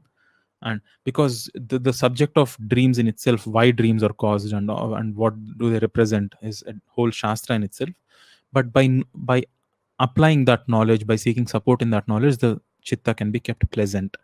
I know that by experience in in a complementary way in in, in a in a converse sort of way where uh, it's not the the knowledge of sleep and dreams itself is not the sadhana but because of sadhana the knowledge of sleep and dreams become clearer. So it, it works in both in in vice versa ways also. But this is one of the ways in which one can keep the mind clear. And uh, again i uh, many people might uh, might be following different uh, different gurus different kinds of sadhana. I personally follow isha foundation's yoga and sadhguru's uh, practices. There is Shambhavi Mahamudra, there is Shakti Chalana Kriya, there is Shunya, um, and uh, there is uh, there, there are different components of uh, Hatha Yoga, Angamardana and Yogasanas and Surya Kriya and Surya Shakti. Uh, all of these practices are I don't want to give it a, give it a number, but these practices give you a much more much quicker result and, and much and they get you to these states quickly of course you can keep understanding and pondering over all of these uh, but um, putting it to practice as as kriya or hatha is much i i have found in my experience for me to be much more uh, much more tangible in terms of results than jnana. So uh, sadhguru says keeps it uh, puts it across this way. So human capabilities there are we all of us are born with a body. There is there's a physical body that we can employ. There are there are there's our thought that we can employ. There is the we have emotional faculties that we can work with our emotions or we can work with the life breath itself the energy that powers all of this uh, the energy circuit that animates us all. So there are these are the four instruments that you have at your disposal. If you work on your uh, body and want to hone it to a certain level of capability that it, it becomes a conduit to understand the true nature of existence and your own self. That is the process of hatha yoga where you are just working on your body. You are you are adamant. You do you don't want to uh, uh, get uh, get get deviated by these uh, these sutras and this knowledge and these discourses or by bhakti or all this stuff you know you have your physical body you want to just work on it. And there is that is hatha yoga. There is jnana yoga where you uh, employ you sharpen your intellect in, to such a degree that you can you can distinguish very clearly between what is truth and what is untruth. And then that becomes such razor sharp intellect that uh, it, it it penetrates all the deepest secrets of creation and reveals the truth to you. And this this pursuit of all this yoga sutras and and and uh, the intellectual pursuit of of the knowledge of yoga and the knowledge of atman and all that the the theory of brahman and the jivatma and the paramatma all that is a is an outpouring of people going in the this pursuit of knowing the truth through intellectual pursuits. It is uh, it is possible but it is uh, it is highly tricky that one might get deluded very easily. Uh, that oh now i know the truth but only uh, uh, but be fooling themselves into a false sense of reality. But hatha yoga is not like that. If it, the body does not lie you you you are either there you're physically there or you, you can do your asana and stay in it and, and be immersed in it or you cannot. So it doesn't delude you. But the mind is kind of tricky. So this jnana yoga is is not for uh, not in everybody's appetite. That is why and, and of course there is bhakti yoga where you employ your emotions. And this is probably the most the trickiest of all uh, because uh, the, it's really really easy to fall into the trap of bhakti versus business. So and uh, and it's not exactly looked up and it's not looked upon in the world because bhakta hatha yogis and jnana yogis and kriya yogis and all of these people they seem to have some benefits to the society at large. Devotees and uh, uh, they like true devotees they like doesn't matter. It like uh, all this drama of of knowledge and, and putting oneself through the pain of hatha yoga this seems pointless. So they are just lost in their own bhakti. And then there are kriya there is the working on the breath itself which is kriya uh, where you ra- you raise the intensity of life energy itself to such a high pitch that uh, that you it rises you it raises you above all of the other mundane aspects of living and being being bogged down by these compulsive cyclical tendencies. All of them are just broken through so and and of course there is karma yoga which is again with the body itself that you just you stick to your duty and you uh, you perform action without an expectance uh, expectation of result and all that.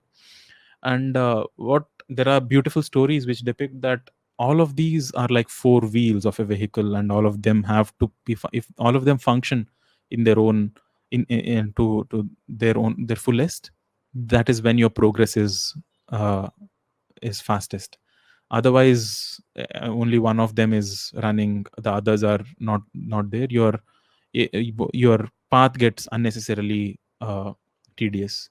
So I, I got into all of that just to let you know that to understand these kind of sutras more than just analytically uh, you know tediously meticulously analyzing it and and looking and thinking of dreams and going into that. Especially when you start thinking of dreams you can can really take you down uh, uh, down rabbit holes and, and and fancies of hallucinations.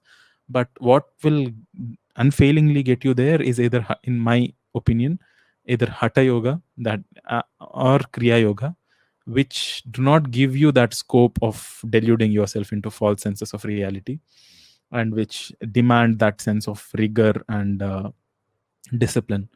So though though my vote would go to those those forms of practices but yes uh, the, coming to the literal sanskrit meaning of this stotra the vikshepas of chitta, chitta prasadanam, can happen through one of the way, uh, one other way is through swapna nidra jnana alambanam, through the support, through seeking support in the knowledge of what sleep is and what the dream states are. Yes, I just did that, Vishnuji. I, okay, I hope you found that useful to some degree. but this can be a really tricky path to get into. Just you start picking up picking your dreams apart.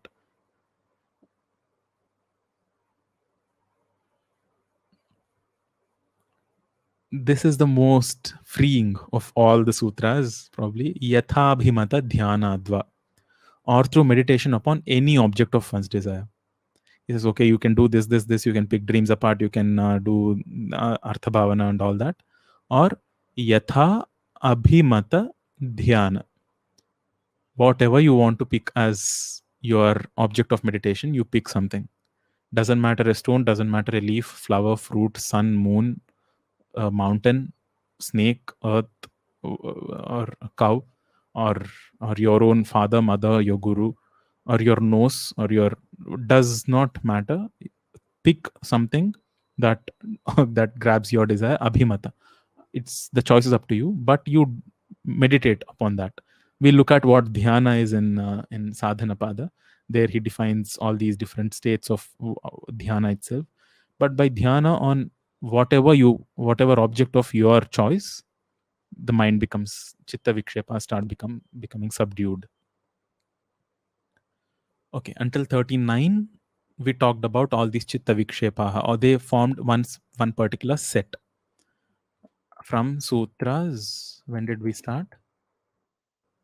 Uh, 30 to 39 form one set of dealing with different kinds of antarayas what the, what chitta is and uh, what are the different ways of different kinds of vikshepas and antarayas and what they lead to what are the vikshe- vikshepa sahabhuvas what are born along what are the consequences of these vikshepas and how to bring that uh, antara and how antaraya abhava happens and various different ways in which one can uh, bring that sense of calmness and stillness chitta prasadanam various ways of bringing it about. We have looked at from 30 to 39 now we'll go to the 40th sutra from here the uh, context what the segment this the 40 to 50 uh, talk about a different aspect of of samadhi pada here he says paramanu parama mahatvanto asya vashikarah. To the one who is whose chitta has been completely pacified and, and one who has gained control complete control over one's own mental compulsive cyclical activities such a person has uh, even for such a person asya for him asya is for him paramanu the tiniest. Paramanu does not literally mean an atom. It can come to mean an atom but even the tiniest an, ani, anu literally means that, that which is extremely small. Even the tiniest and mahat is that which is extremely large even the most enormous. Not both in terms in in all senses of these words either be it and be it knowledge be it possessions be it be it the reality of existence be it whatever the even the tiniest the minutest and the greatest the largest of aspects of existence are within the grasp of such a person for, of what kind of a person of that kind of a person who has control over one's own self. To have to grasp that which is tiny or large or something else or something else it is not there that your focus has to be. It is not you do not go in pursuit of that. But rather you work on your own chitta and your own internal capabilities and that that will eventually lead to gaining mastery and grasp and, and bringing into the uh, one's own grasp even the tiniest and the minute and the largest of that which is there to grasp in this existence. So in this sutra so he has started as you have seen talking about what kind of states what kind of benefits uh, what kind of attainments this this state of samadhi or this state of yoga is going to bestow upon somebody here he says क्षीण वृत्तेः अभिजातस्येव मणेः ग्रहीतृ ग्रहण ग्राह्येषु तत्स्थतदञ्जनता I'll repeat this word tatstha tadanjanata samapattihi. I hope this word was clear. It's a, it can be a little bit of a tongue twister. It is tatstha tadanjanata. Tatstha tat anjanata becomes tatstha tadanjanata samapattihi. This defines so kshina vrittehe. Kshina means decaying, decomposing, or or coming down. So or, or being subdued what is kshirna what what has become kshirna what has become subdued vrittis all these compulsive activities here kshirna vritte have been subdued. So the one who is whose compulsive cyclical activities have been subdued abhijatasya iva manehi. One whose mind is abhijata has is clearing up is becoming like mani like a crystal. Whose mind is because uh, it's not no longer under the grip of this uh, it's not constantly just running. It's it's uh, subdued and it's all these activities are have come to a standstill so the mind whose mind has now cleared up is come clearing up like crystal like mani grahitr grahitr is the word you know grahita or grahitr the roots word literally means the one who consumes, the one who takes in. Uh, and grahana is the act of consumption, taking in. Grahana, the word also, the eclipse is also it's used to, or eating also is grahana. Grahana literally means taking something in. And grahya, that which is being take, taken in. So, in any interaction with the outside world where in sensory input is happening, there is somebody who is uh, there are three entities there is the one who is consuming it there is the one who is enjoying the one who is the receiver there is the process of reception the activity itself grahana and then there is that which is received grahya. These three things which are usually three in distinctly different entities.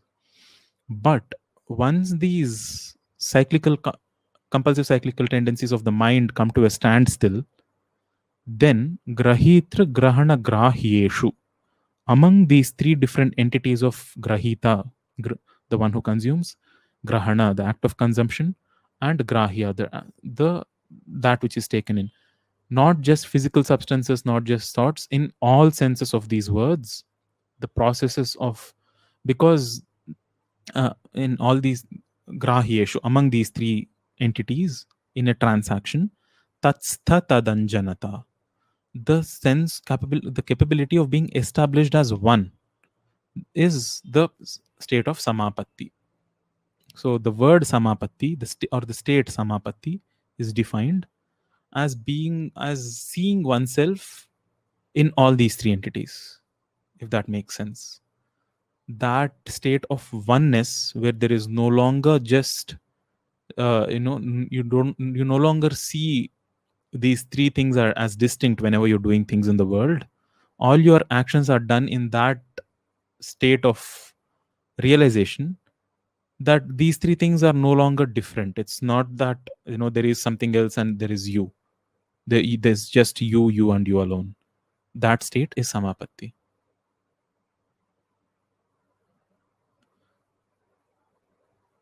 all right Perfect. The picture makes clear sense, apparently. All right. I'm glad. Otherwise, just with the text, it, it would have been really, um, really a hard task to convey what is being mentioned. But yes, the picture gives interpretations of what what it could mean, and it uh, by by what I'm uh, what I say, there is a lot of impressions of uh, of there, there's a lot of limitation as to what I can convey just through text and, and words. But images, yes, it's very uh, very useful. I'm, I'm really glad I put these in. And thank you, Meghna. Shout out to Meghna. And uh, yes, the next sutra, 42nd sutra says, Tatra Shabdartha Jnana Vikalpaihi Sankirna Savitarka Samapattihi. It's he's again describing it as when that compulsive cyclical activities of the mind come to a standstill, there, tatra, comes the capability of Savitarka Samadhi. Samapatti is it attainment or it comes about in that state. What what comes about? Savitarka Samapatti.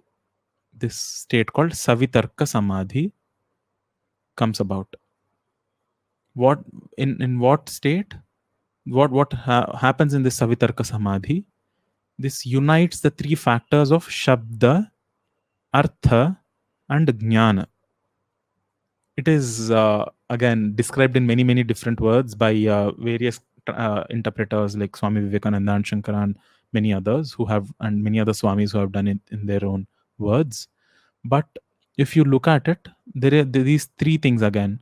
So whatever is is manifest as threefold entities in creation, which look like three different things, but are are not exactly three different things, but are the same, but are different manifestations of the same thing, which which are just which appear to be different, but in essence are the same. So all these threefold manifestations start to merge into one another and become the same. So a um and um are no longer three distinct sounds but one. In the same way the the seer the seen and the see, and seeing are no longer three distinct things but are uh, one sees oneself in all these three uh, one is established in all these three. And in shabda artha and jnana in the sound of something in the meaning in, in the meaning of something and what it actually conveys. If i i hope this distinction is clear. If not you have to it's not something that uh, i can put put in words and then you'll get it. Uh, so there are many examples. Of course this uh, image itself shows it. So there is shabda there is which which denotes something. For example dhenu is the shabda. Or uh, let's look at something simpler. Okay. Uh, so there is nadi which is a shabda which is the sound. The, when i say nadi there is there's many of you might know already that it means a river. But the sound the word nadi is just at the level of sound. Its artha is na, na the the word the comes from dana or diyate that which gives. What? Na. The uh, the root sound na uh, is literally means warmth and life. So narmada and and that that sense of the one the giver of life the giver of plenty and bounty and, and life is a nadi. That is the artha of it. And the jnana of it as yes it is actually something that gives life and brings about that bounty. That jnana is one. Is these three initially seem like three distinctly different things. There is the sound there is the meaning of it and there is the knowledge of it the sound the meaning and the knowledge seem like three different things but they all of them are contained within one another. They are, they are the same thing. I don't know if this this point is getting across but I, I hope it does. What helps you if it does not yet is the practice of yoga itself the sadhana itself and i hope it uh, now the example perfect perfect wonderful thank you.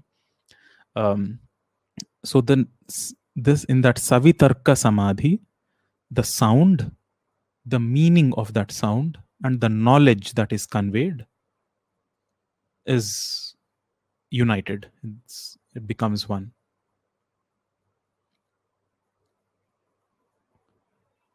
All right. The next sutra says smriti parishuddhau swarupa shunyeva arthamatra nirbhasa nirvitarka so in savitarka samadhi when being in that state of savitarka samadhi those things that are manifest as three different things start becoming united when eh, the other state of samadhi, nirvitarka samadhi, that was savitarka.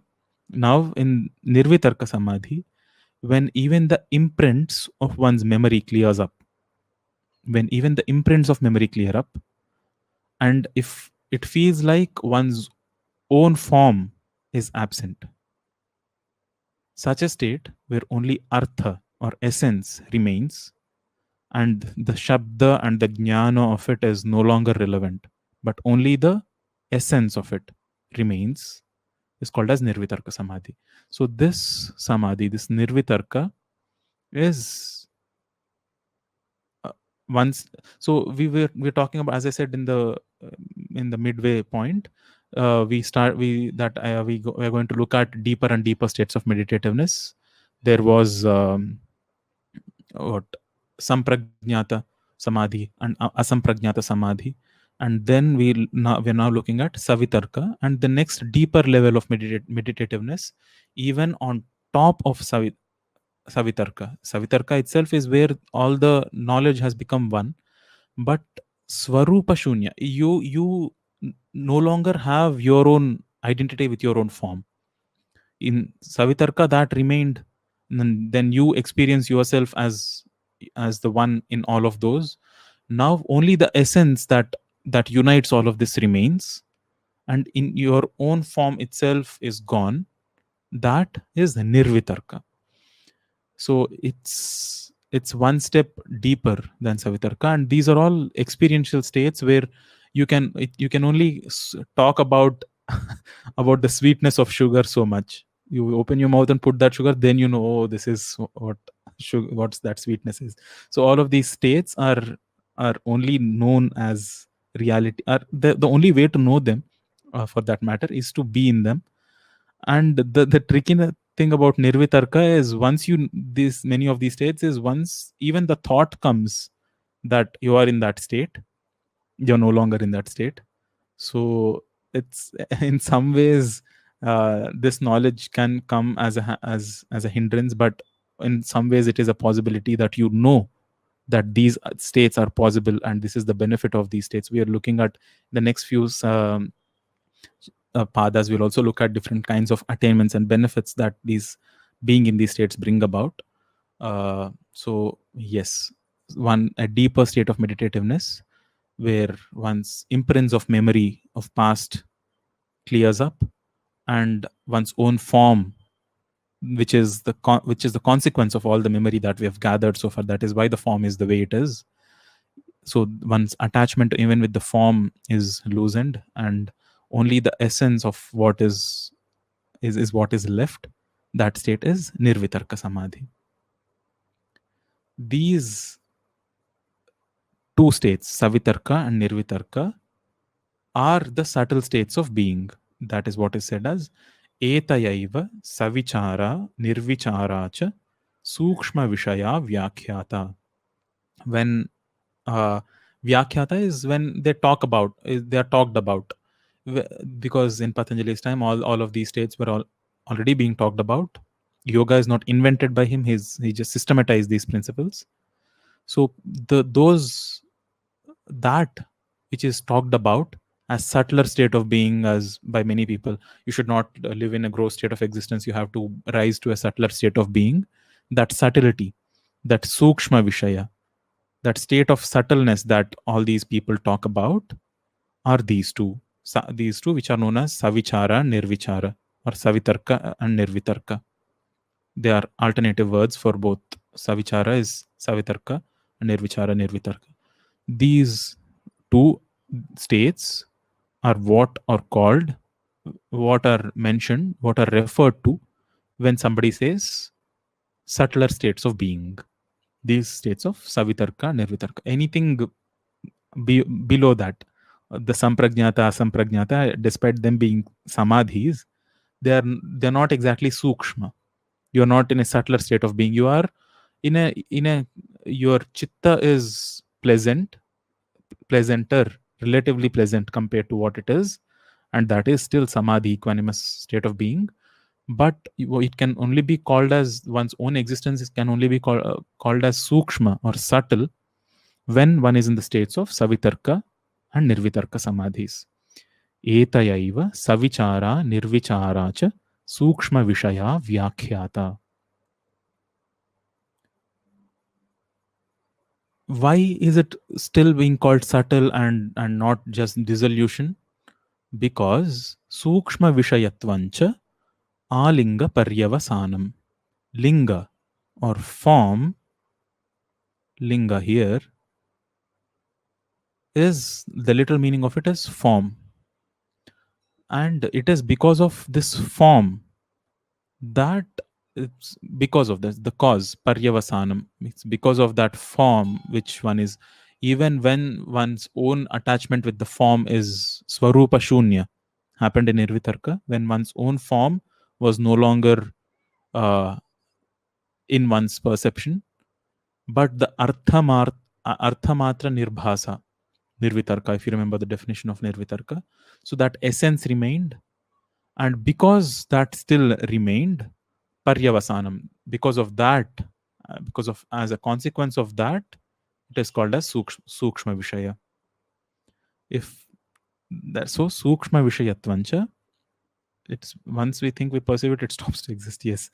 Um, so because of that form still remaining, it is only called as sukshma still.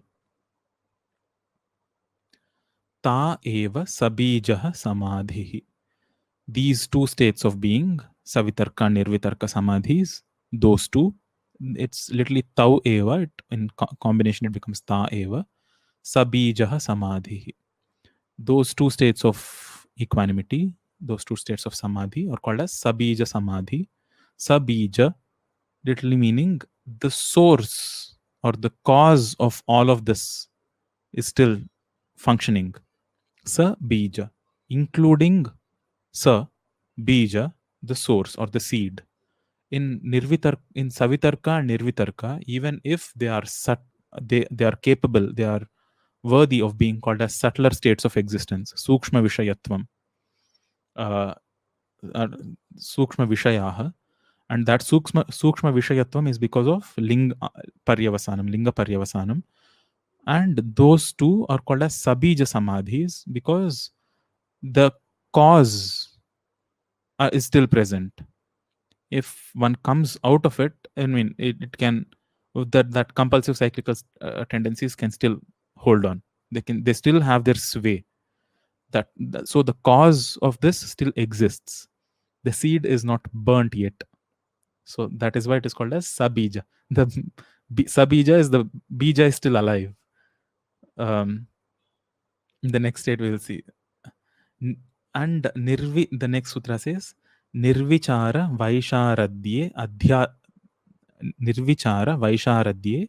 Adhyatma prasada. This symbol here is an avagraha, which says there is an a here. Adhyatma prasada. Adhyatma is the that is the best word to describe describe what is considered as spirituality the realm of spirituality so eh, by in that by continuously staying in the state of nirvitarka or nirvichara samadhi Vaishar, visharada you might have heard this visharada by being skilled or experts in by continuously staying in that state of nirvichara samadhi which itself is very it's a profound state of sukshma state of of uh, being uh, even swarupa itself is is swarupa shunyatvam happens there in nirvichara samadhi. By con- constantly saying staying in that state of nirvichara samadhi does one enter the realm of spirituality or adhyatma. Before that happens spirituality is just a word. Only if one co- constantly stays in that sense of nirvichara samadhi does one enter the states of adhyatma or spirituality one thing that i can say is the best the sim not uh, one practical way one practical way of getting there is through giving oneself to isha yoga practices for sure uh, and and going through shambhavi mahamudra and shakti chalana kriya after which they initiate you into a practice called shunya. The the the full the better you give yourself to these practices the deeper states of meditation they take you to but uh, instead of here i am i wouldn't say utterly hopeless but uh, trying to get to these states of meditativeness just by textual pursuits uh, to me seems utterly hopeless because there are better ways of getting there and, and especially when there are gurus who can pro- provide you such practices. But yes when you constantly stay in that state of nirvichara samadhi and you become visharada or or skilled and competent in that nirvichara samadhi you enter the realm of adhyatma or spirituality. This this the realm of spirit of of the self becomes starts becoming evident. Wait.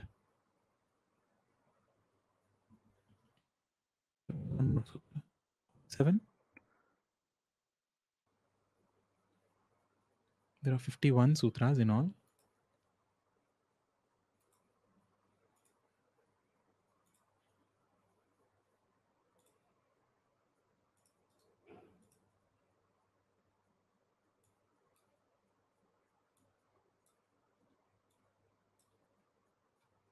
Yeah.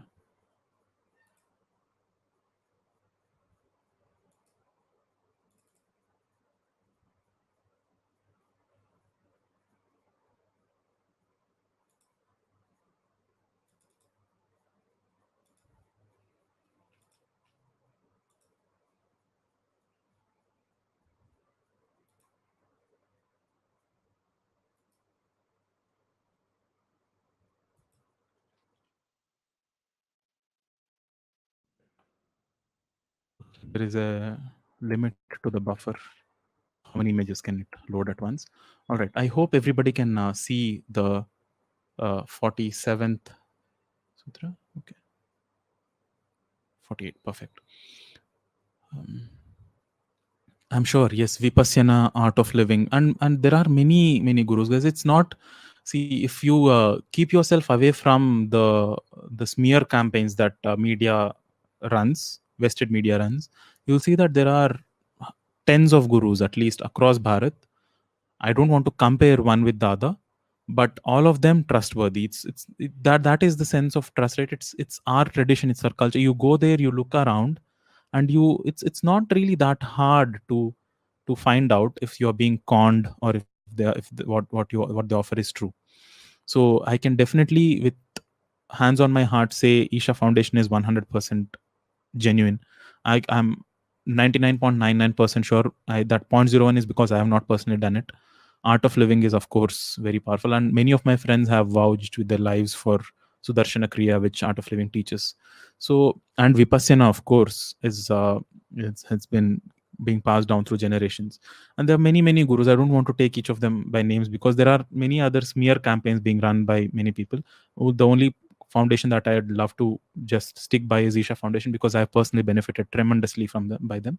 But all of these, it's it's not really that hard, and it pains my heart to see when uh, when people start uh, abusing or when when people start uh, discrediting these gurus who work their lives tirelessly, who spend so and and and it's very obvious and, and clear to see that what they offer is extremely beneficial but despite that there are large groups of people who are somehow hell-bent on going against them and somehow maligning their reputation and saying they're out there only for profit or or influence or some other other thing.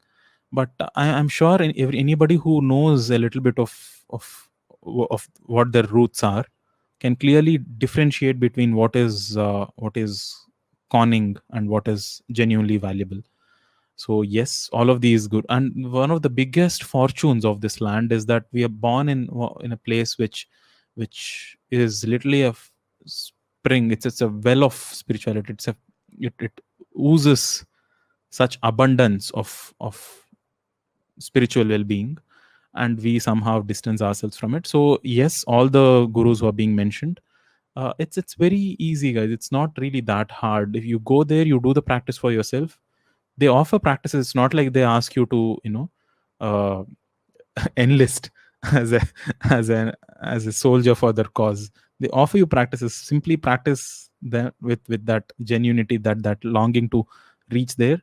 And if the practice works great. That that's that's all that is needed. That is what they are there for uh, as well.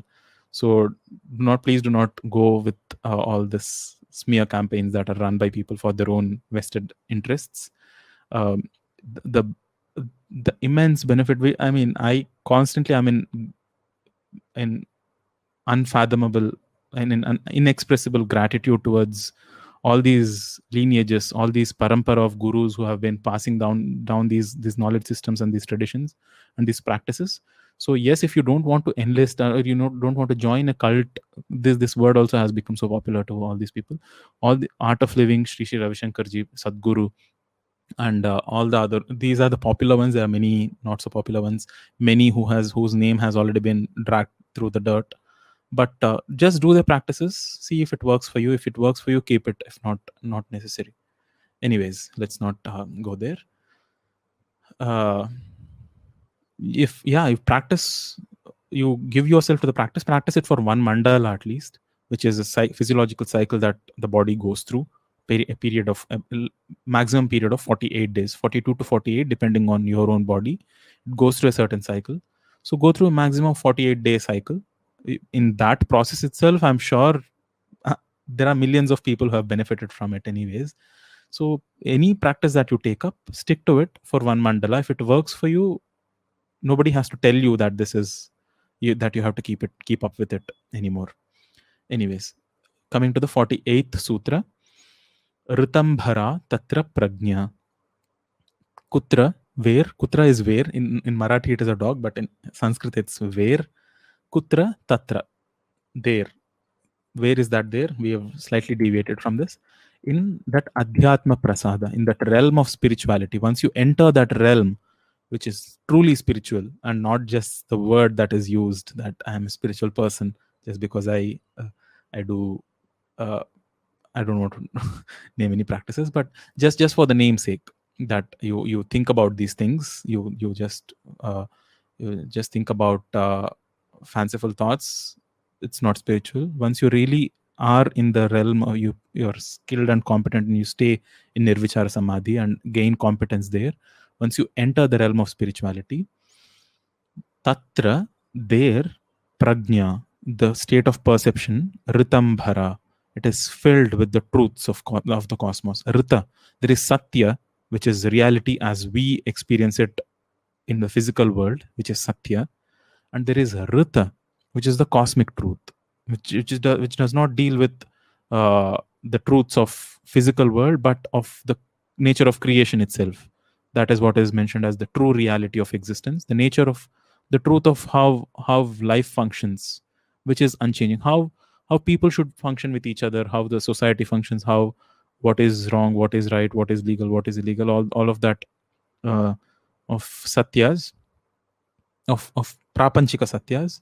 This rita is that eternal truth which is unchanging.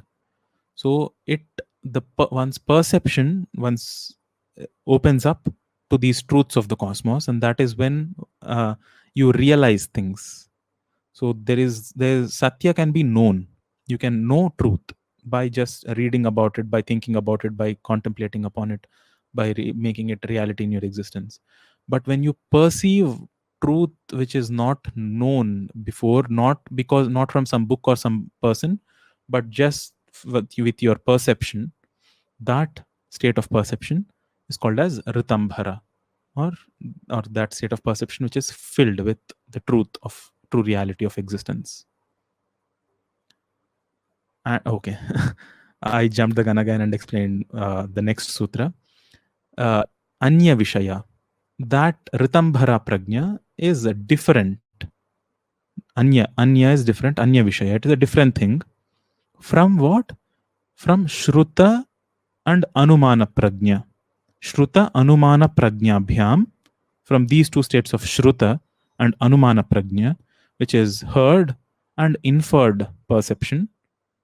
Shruta uh, again means heard or or experience for oneself, one knowing known for oneself. Oh, as prapanchika satya, that it this ritambhara prajna is different from shruta prajna and anumana prajna because of an ex, because of a vishesha artha because so uh, as we look at the meaning the knowledge of this reality is unique anya vishaya eh, and, and different from that which is normally perceived through one's senses and logic through shruta meaning heard meaning all the all the logical uh, inputs that we get that is one level of perception anumana prajna is by inference by logic we can we can we can perceive to a different degree. But Ritambhara Prajna is different from perception through senses and through one's own logic due to its nature of being all encompassing. It, it doesn't, it, it's not limited to one particular thing. Vishesha. It, it does not leave anything. So generally knowledge is about one, one thing or the other. This knowledge that we get through the senses is about one particular thing or through logic is about one particular thing. It's not all encompassing knowledge. But this ritam, the knowledge that we get through Ritambhara Prajna does not leave anything else as reminders. That knowledge there of life is all encompassing. Um, again, this has to be known for known as truth. And uh, uh, yeah, let me leave it there. Uh, so that that Ritambhara Prajna, it's enormously, enormously uh, empowering uh, so that you do not have to rely on books or or inferred, inferred knowledge anymore you just perceive the truth there is for what it is just through your perception itself tajja sanskara anya sanskara pratibandhi the sanskara or the latent impressions that are born from this kind of a perception. This perception, of course, creates these impressions. Any kind of perception, of course, it's perception because it's creating those impressions within us.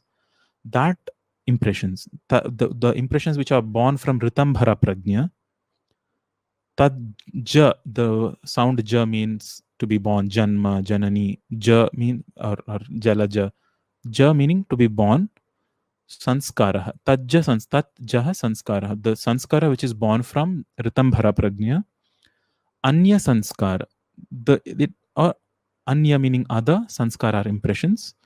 Pratibandhi. They prevent they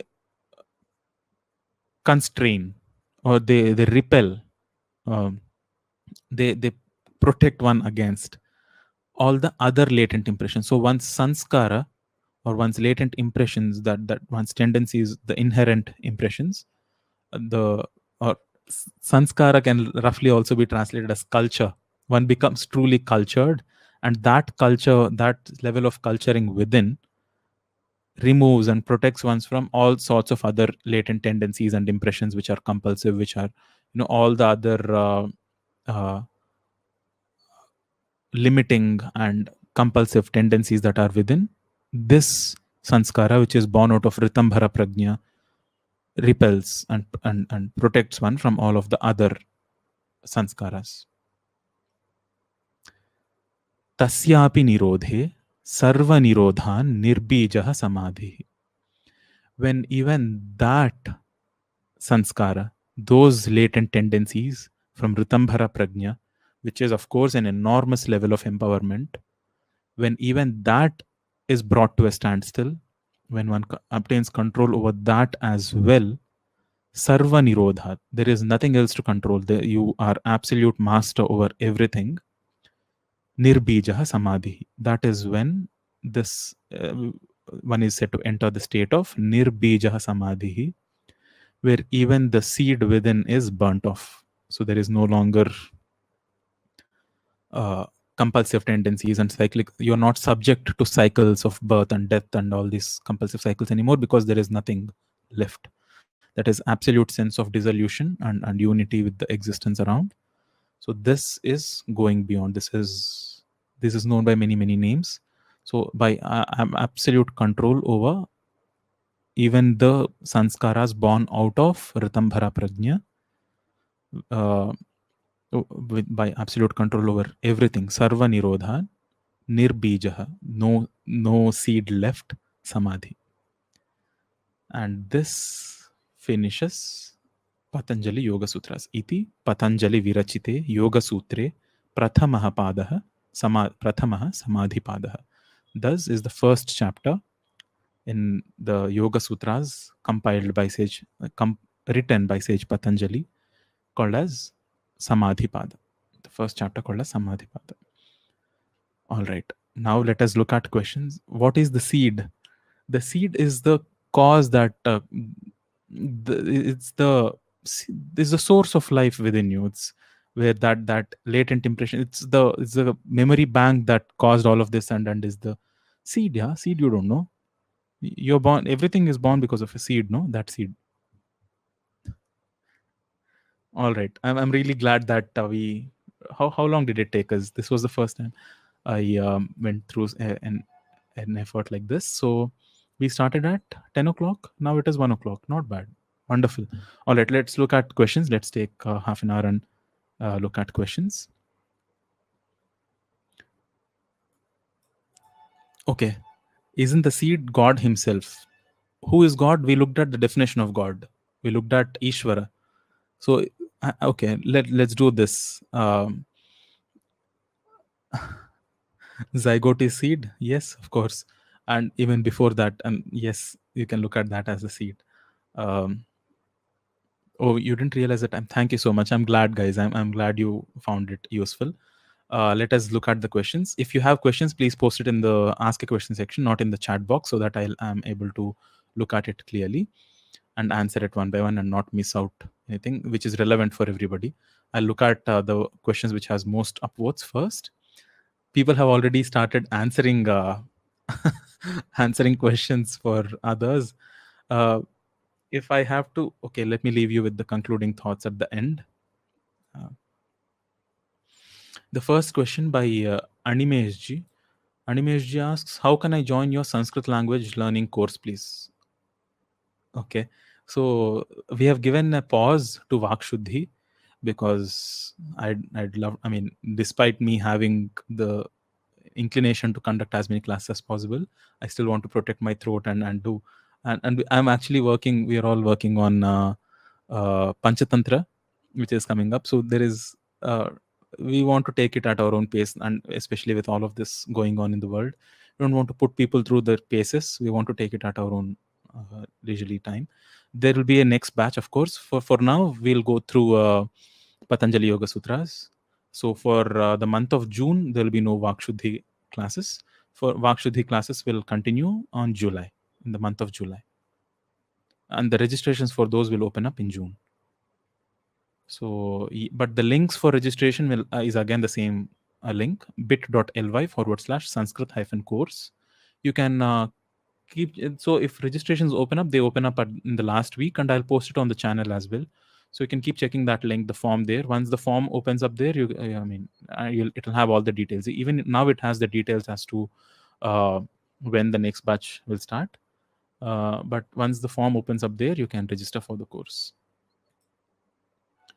Prithviji asks, please give details about the next level of learning course after Vakshuddhi. Uh, yes, as I was saying, uh, there are multiple uh, projects. So this one is unique on its own, Patanjali Yoga Sutras there is a panchatantra that we are working on. As this is the first time i'm reading it as well. I'm taking time to read it and, and interpret it and, and try to understand it as much as possible before i i take it up i offer it as a course. And as i as i learn it I, i'm loving the text guys. Panchatantra is trust me it's not a children's book. It's not at all the the way it is written in original sanskrit for the world that we live in right now there'll be uproar. Uh, I'm I'm hoping I can make it to children above uh, 13 years of age. Uh, but one one thing that is that that can be promised by uh, Panchatantra is it is a text which will make you experts in Dharma Shastra, Artha Shastra, and Kama Shastra. Dharma, Artha, and Kama. Moksha we are doing anyways right now, Patanjali Yoga Sutras. Uh, so wonderful. After this, we'll try.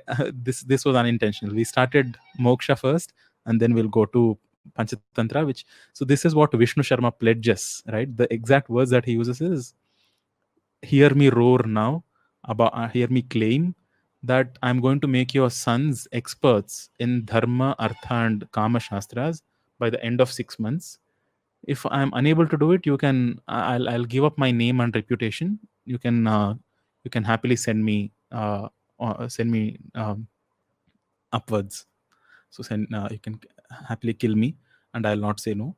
Is what he pledges in the beginning of the text itself. So Panchatantra is is quite a uh, how do I put it? It's it's not PG thirteen. So uh, I'll, I'll, look at how to present it. But so Panchatantra is going to be the next course. I don't know again the format of how to offer it.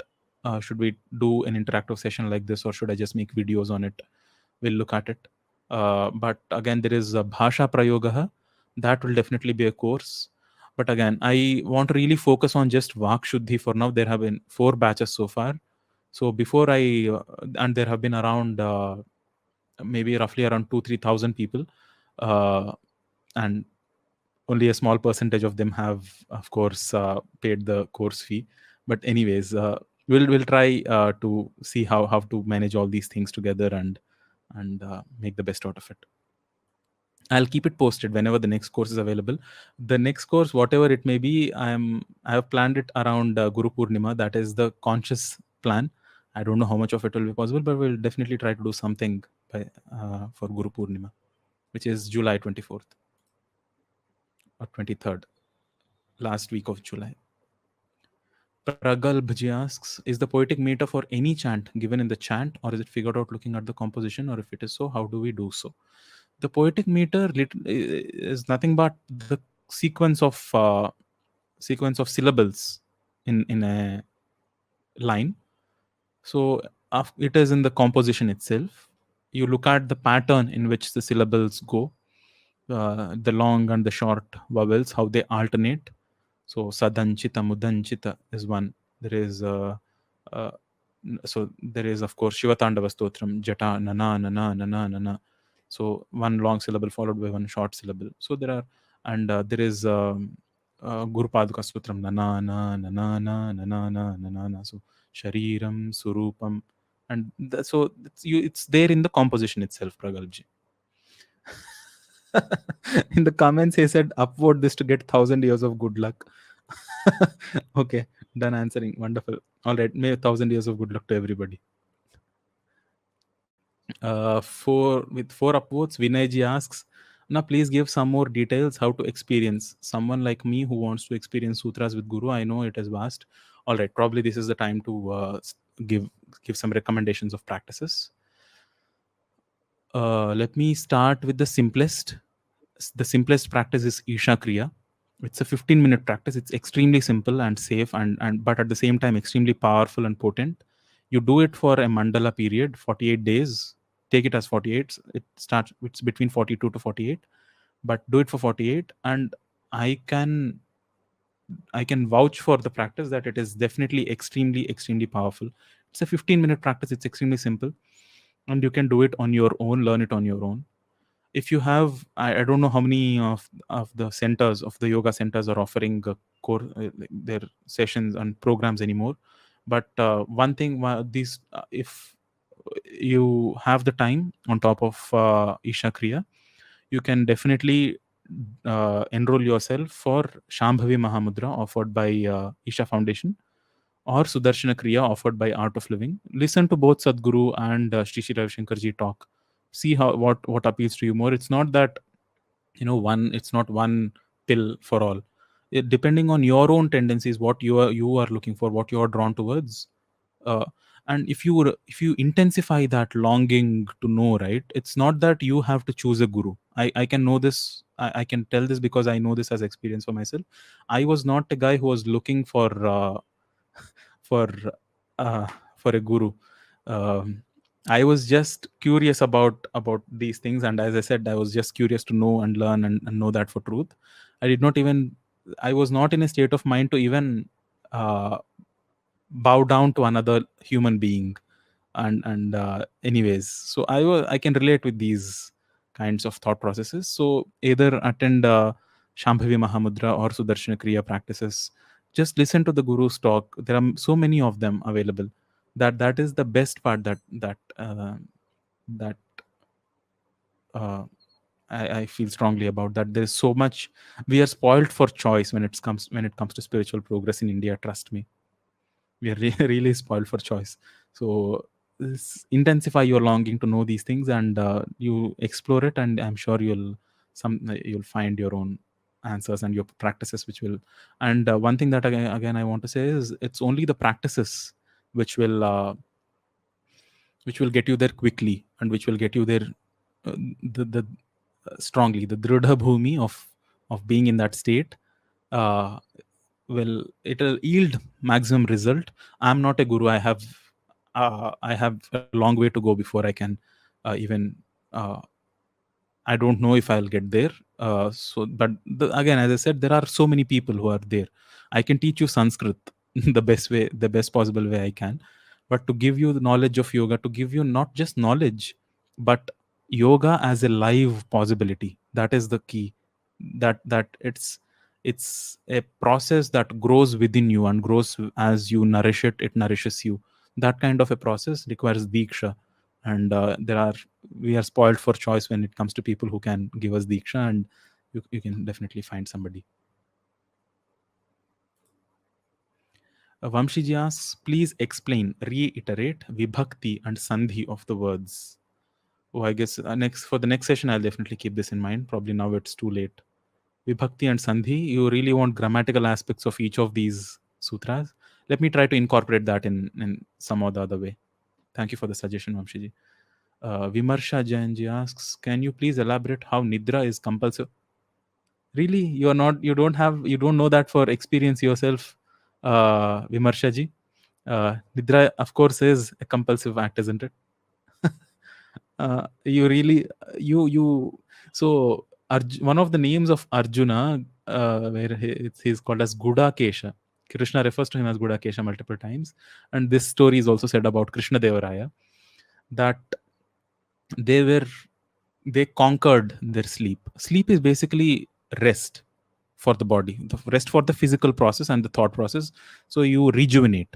Your the the way Sadhguru puts it is the amount of uh, energy that you spend is is at a certain level throughout the day sleep is that time where the amount of energy that is generated is more than amount of energy that is consumed in your daily activities so after a certain time you feel replenished and rejuvenated but that is not necessarily that is not necessitated. If you can keep your body in such a way that the amount of energy that is consumed that is uh, consumed in your daily activities is is minimal. The amount of uh, uh, amount of uh, turbulence in your mind and in your in your body and in your activity is minimal. And you only do activity to such an extent that it is necessary and at the same time the energy the generation of energy capabilities in your body is high and optimal then your body is eternally at rest. You don't need feel the need for sleep anymore. And there are other ways of conscious sleep. This might feel again completely alien concept but you can sleep consciously. So when that happens uh, sadhguru says again that your capability to manifest things that you want to manifest in the world goes up enormously. So the sleep as we know it right now is of course compulsive. You uh, if you stay awake on the on the night of mahashivratri you see hundreds of people dozing off like compulsively. Of course it is compulsive. I don't know why i have to explain this but uh, all right if you you have to pay some more attention vimarshaji you can uh, notice that for yourself but uh, again i can only give this as textual knowledge and just information. All of these sutras whatever we have learned so far it is they're not just to be known as some extra information for uh, for tea table conversations. You spend some time see how you can relate it uh, how, how you can see them as as what is happening in your own life. Anvaya as i called it so you see how how it is true for your own life. Is it is it really all these states right? Right from the five states of being. Are these the only things? Why don't you take it up as a challenge and see are these the only things? Is there something else patanjali is missing? Then you know then you identify each of them as truth and then you live that uh, live that truth live that knowledge textual knowledge. It is only then that these are of some use in one's own life. Otherwise it's just three hours of entertainment. Uh, and and and not not really that that quality entertainment as well. Anyways uh, Vamshiji asks okay yeah i have answered this question. Balaji asks, uh, can you share some of your personal experiences after performing this sadhana? Um, maybe at some other time maybe at the end of the session. I i did put in some other some glimpses. I don't want to uh, draw too much attention to that. Uh, everybody's sadhana is their own personal thing. Of course i can i mean uh, in in some parts i think i glanced over it and, and to some extent. But yes as i said i'm nowhere near uh, near near bija samadhi at least. The, but one thing that i'm fortunate and one, fortunate of of having is glimpses of of these states of yoga which are being talked about. And uh, this is what i was uh, like strongly looking for like very very dog-headedly uh, pursuing when i started first started reading yoga sutras almost 8 9 years ago and uh, slowly it's and it's again I've been in multiple states of uh, the the three states of Mridu, Madhya, and Atimatra, Adhimatra, all the three uh, intensities of, sadhana. Uh, anyways, so yeah, I'll, I'll probably again as uh, uh, as I said, the same answer for Vamshiji. I'll uh, include some anecdotes here and there. Oh, you want me to recite each sutra twice? All right, Maheshji. All right, from here on, it looks like not many upvotes and uh, we are well ahead of, of what we have uh, thought it would take so thank you so much for joining us um, it was it was amazing i hope it was useful to you um, as i said once again uh, you can download the resources required through the links below my my video box. And uh, if if you have not uh, paid already for the course and i know there are uh, many of you here uh, who are who have paid for it and who have not if you want to you can make use of uh, the links and and the details below in the pay as you wish section um, keep uh, stay healthy guys uh, work on your immunities and please make sure that you keep yourself healthy and keep the others around you healthy thank you so much for joining in all right, I see there are more questions coming in. We'll address it in the next session. This the link to the next session, which will happen at 10 a.m. next Sunday, is the same link. Uh, so you can come there, and uh, we'll continue in the next. We'll, I'll see you in the next session. Thank you so much. Namaskaram.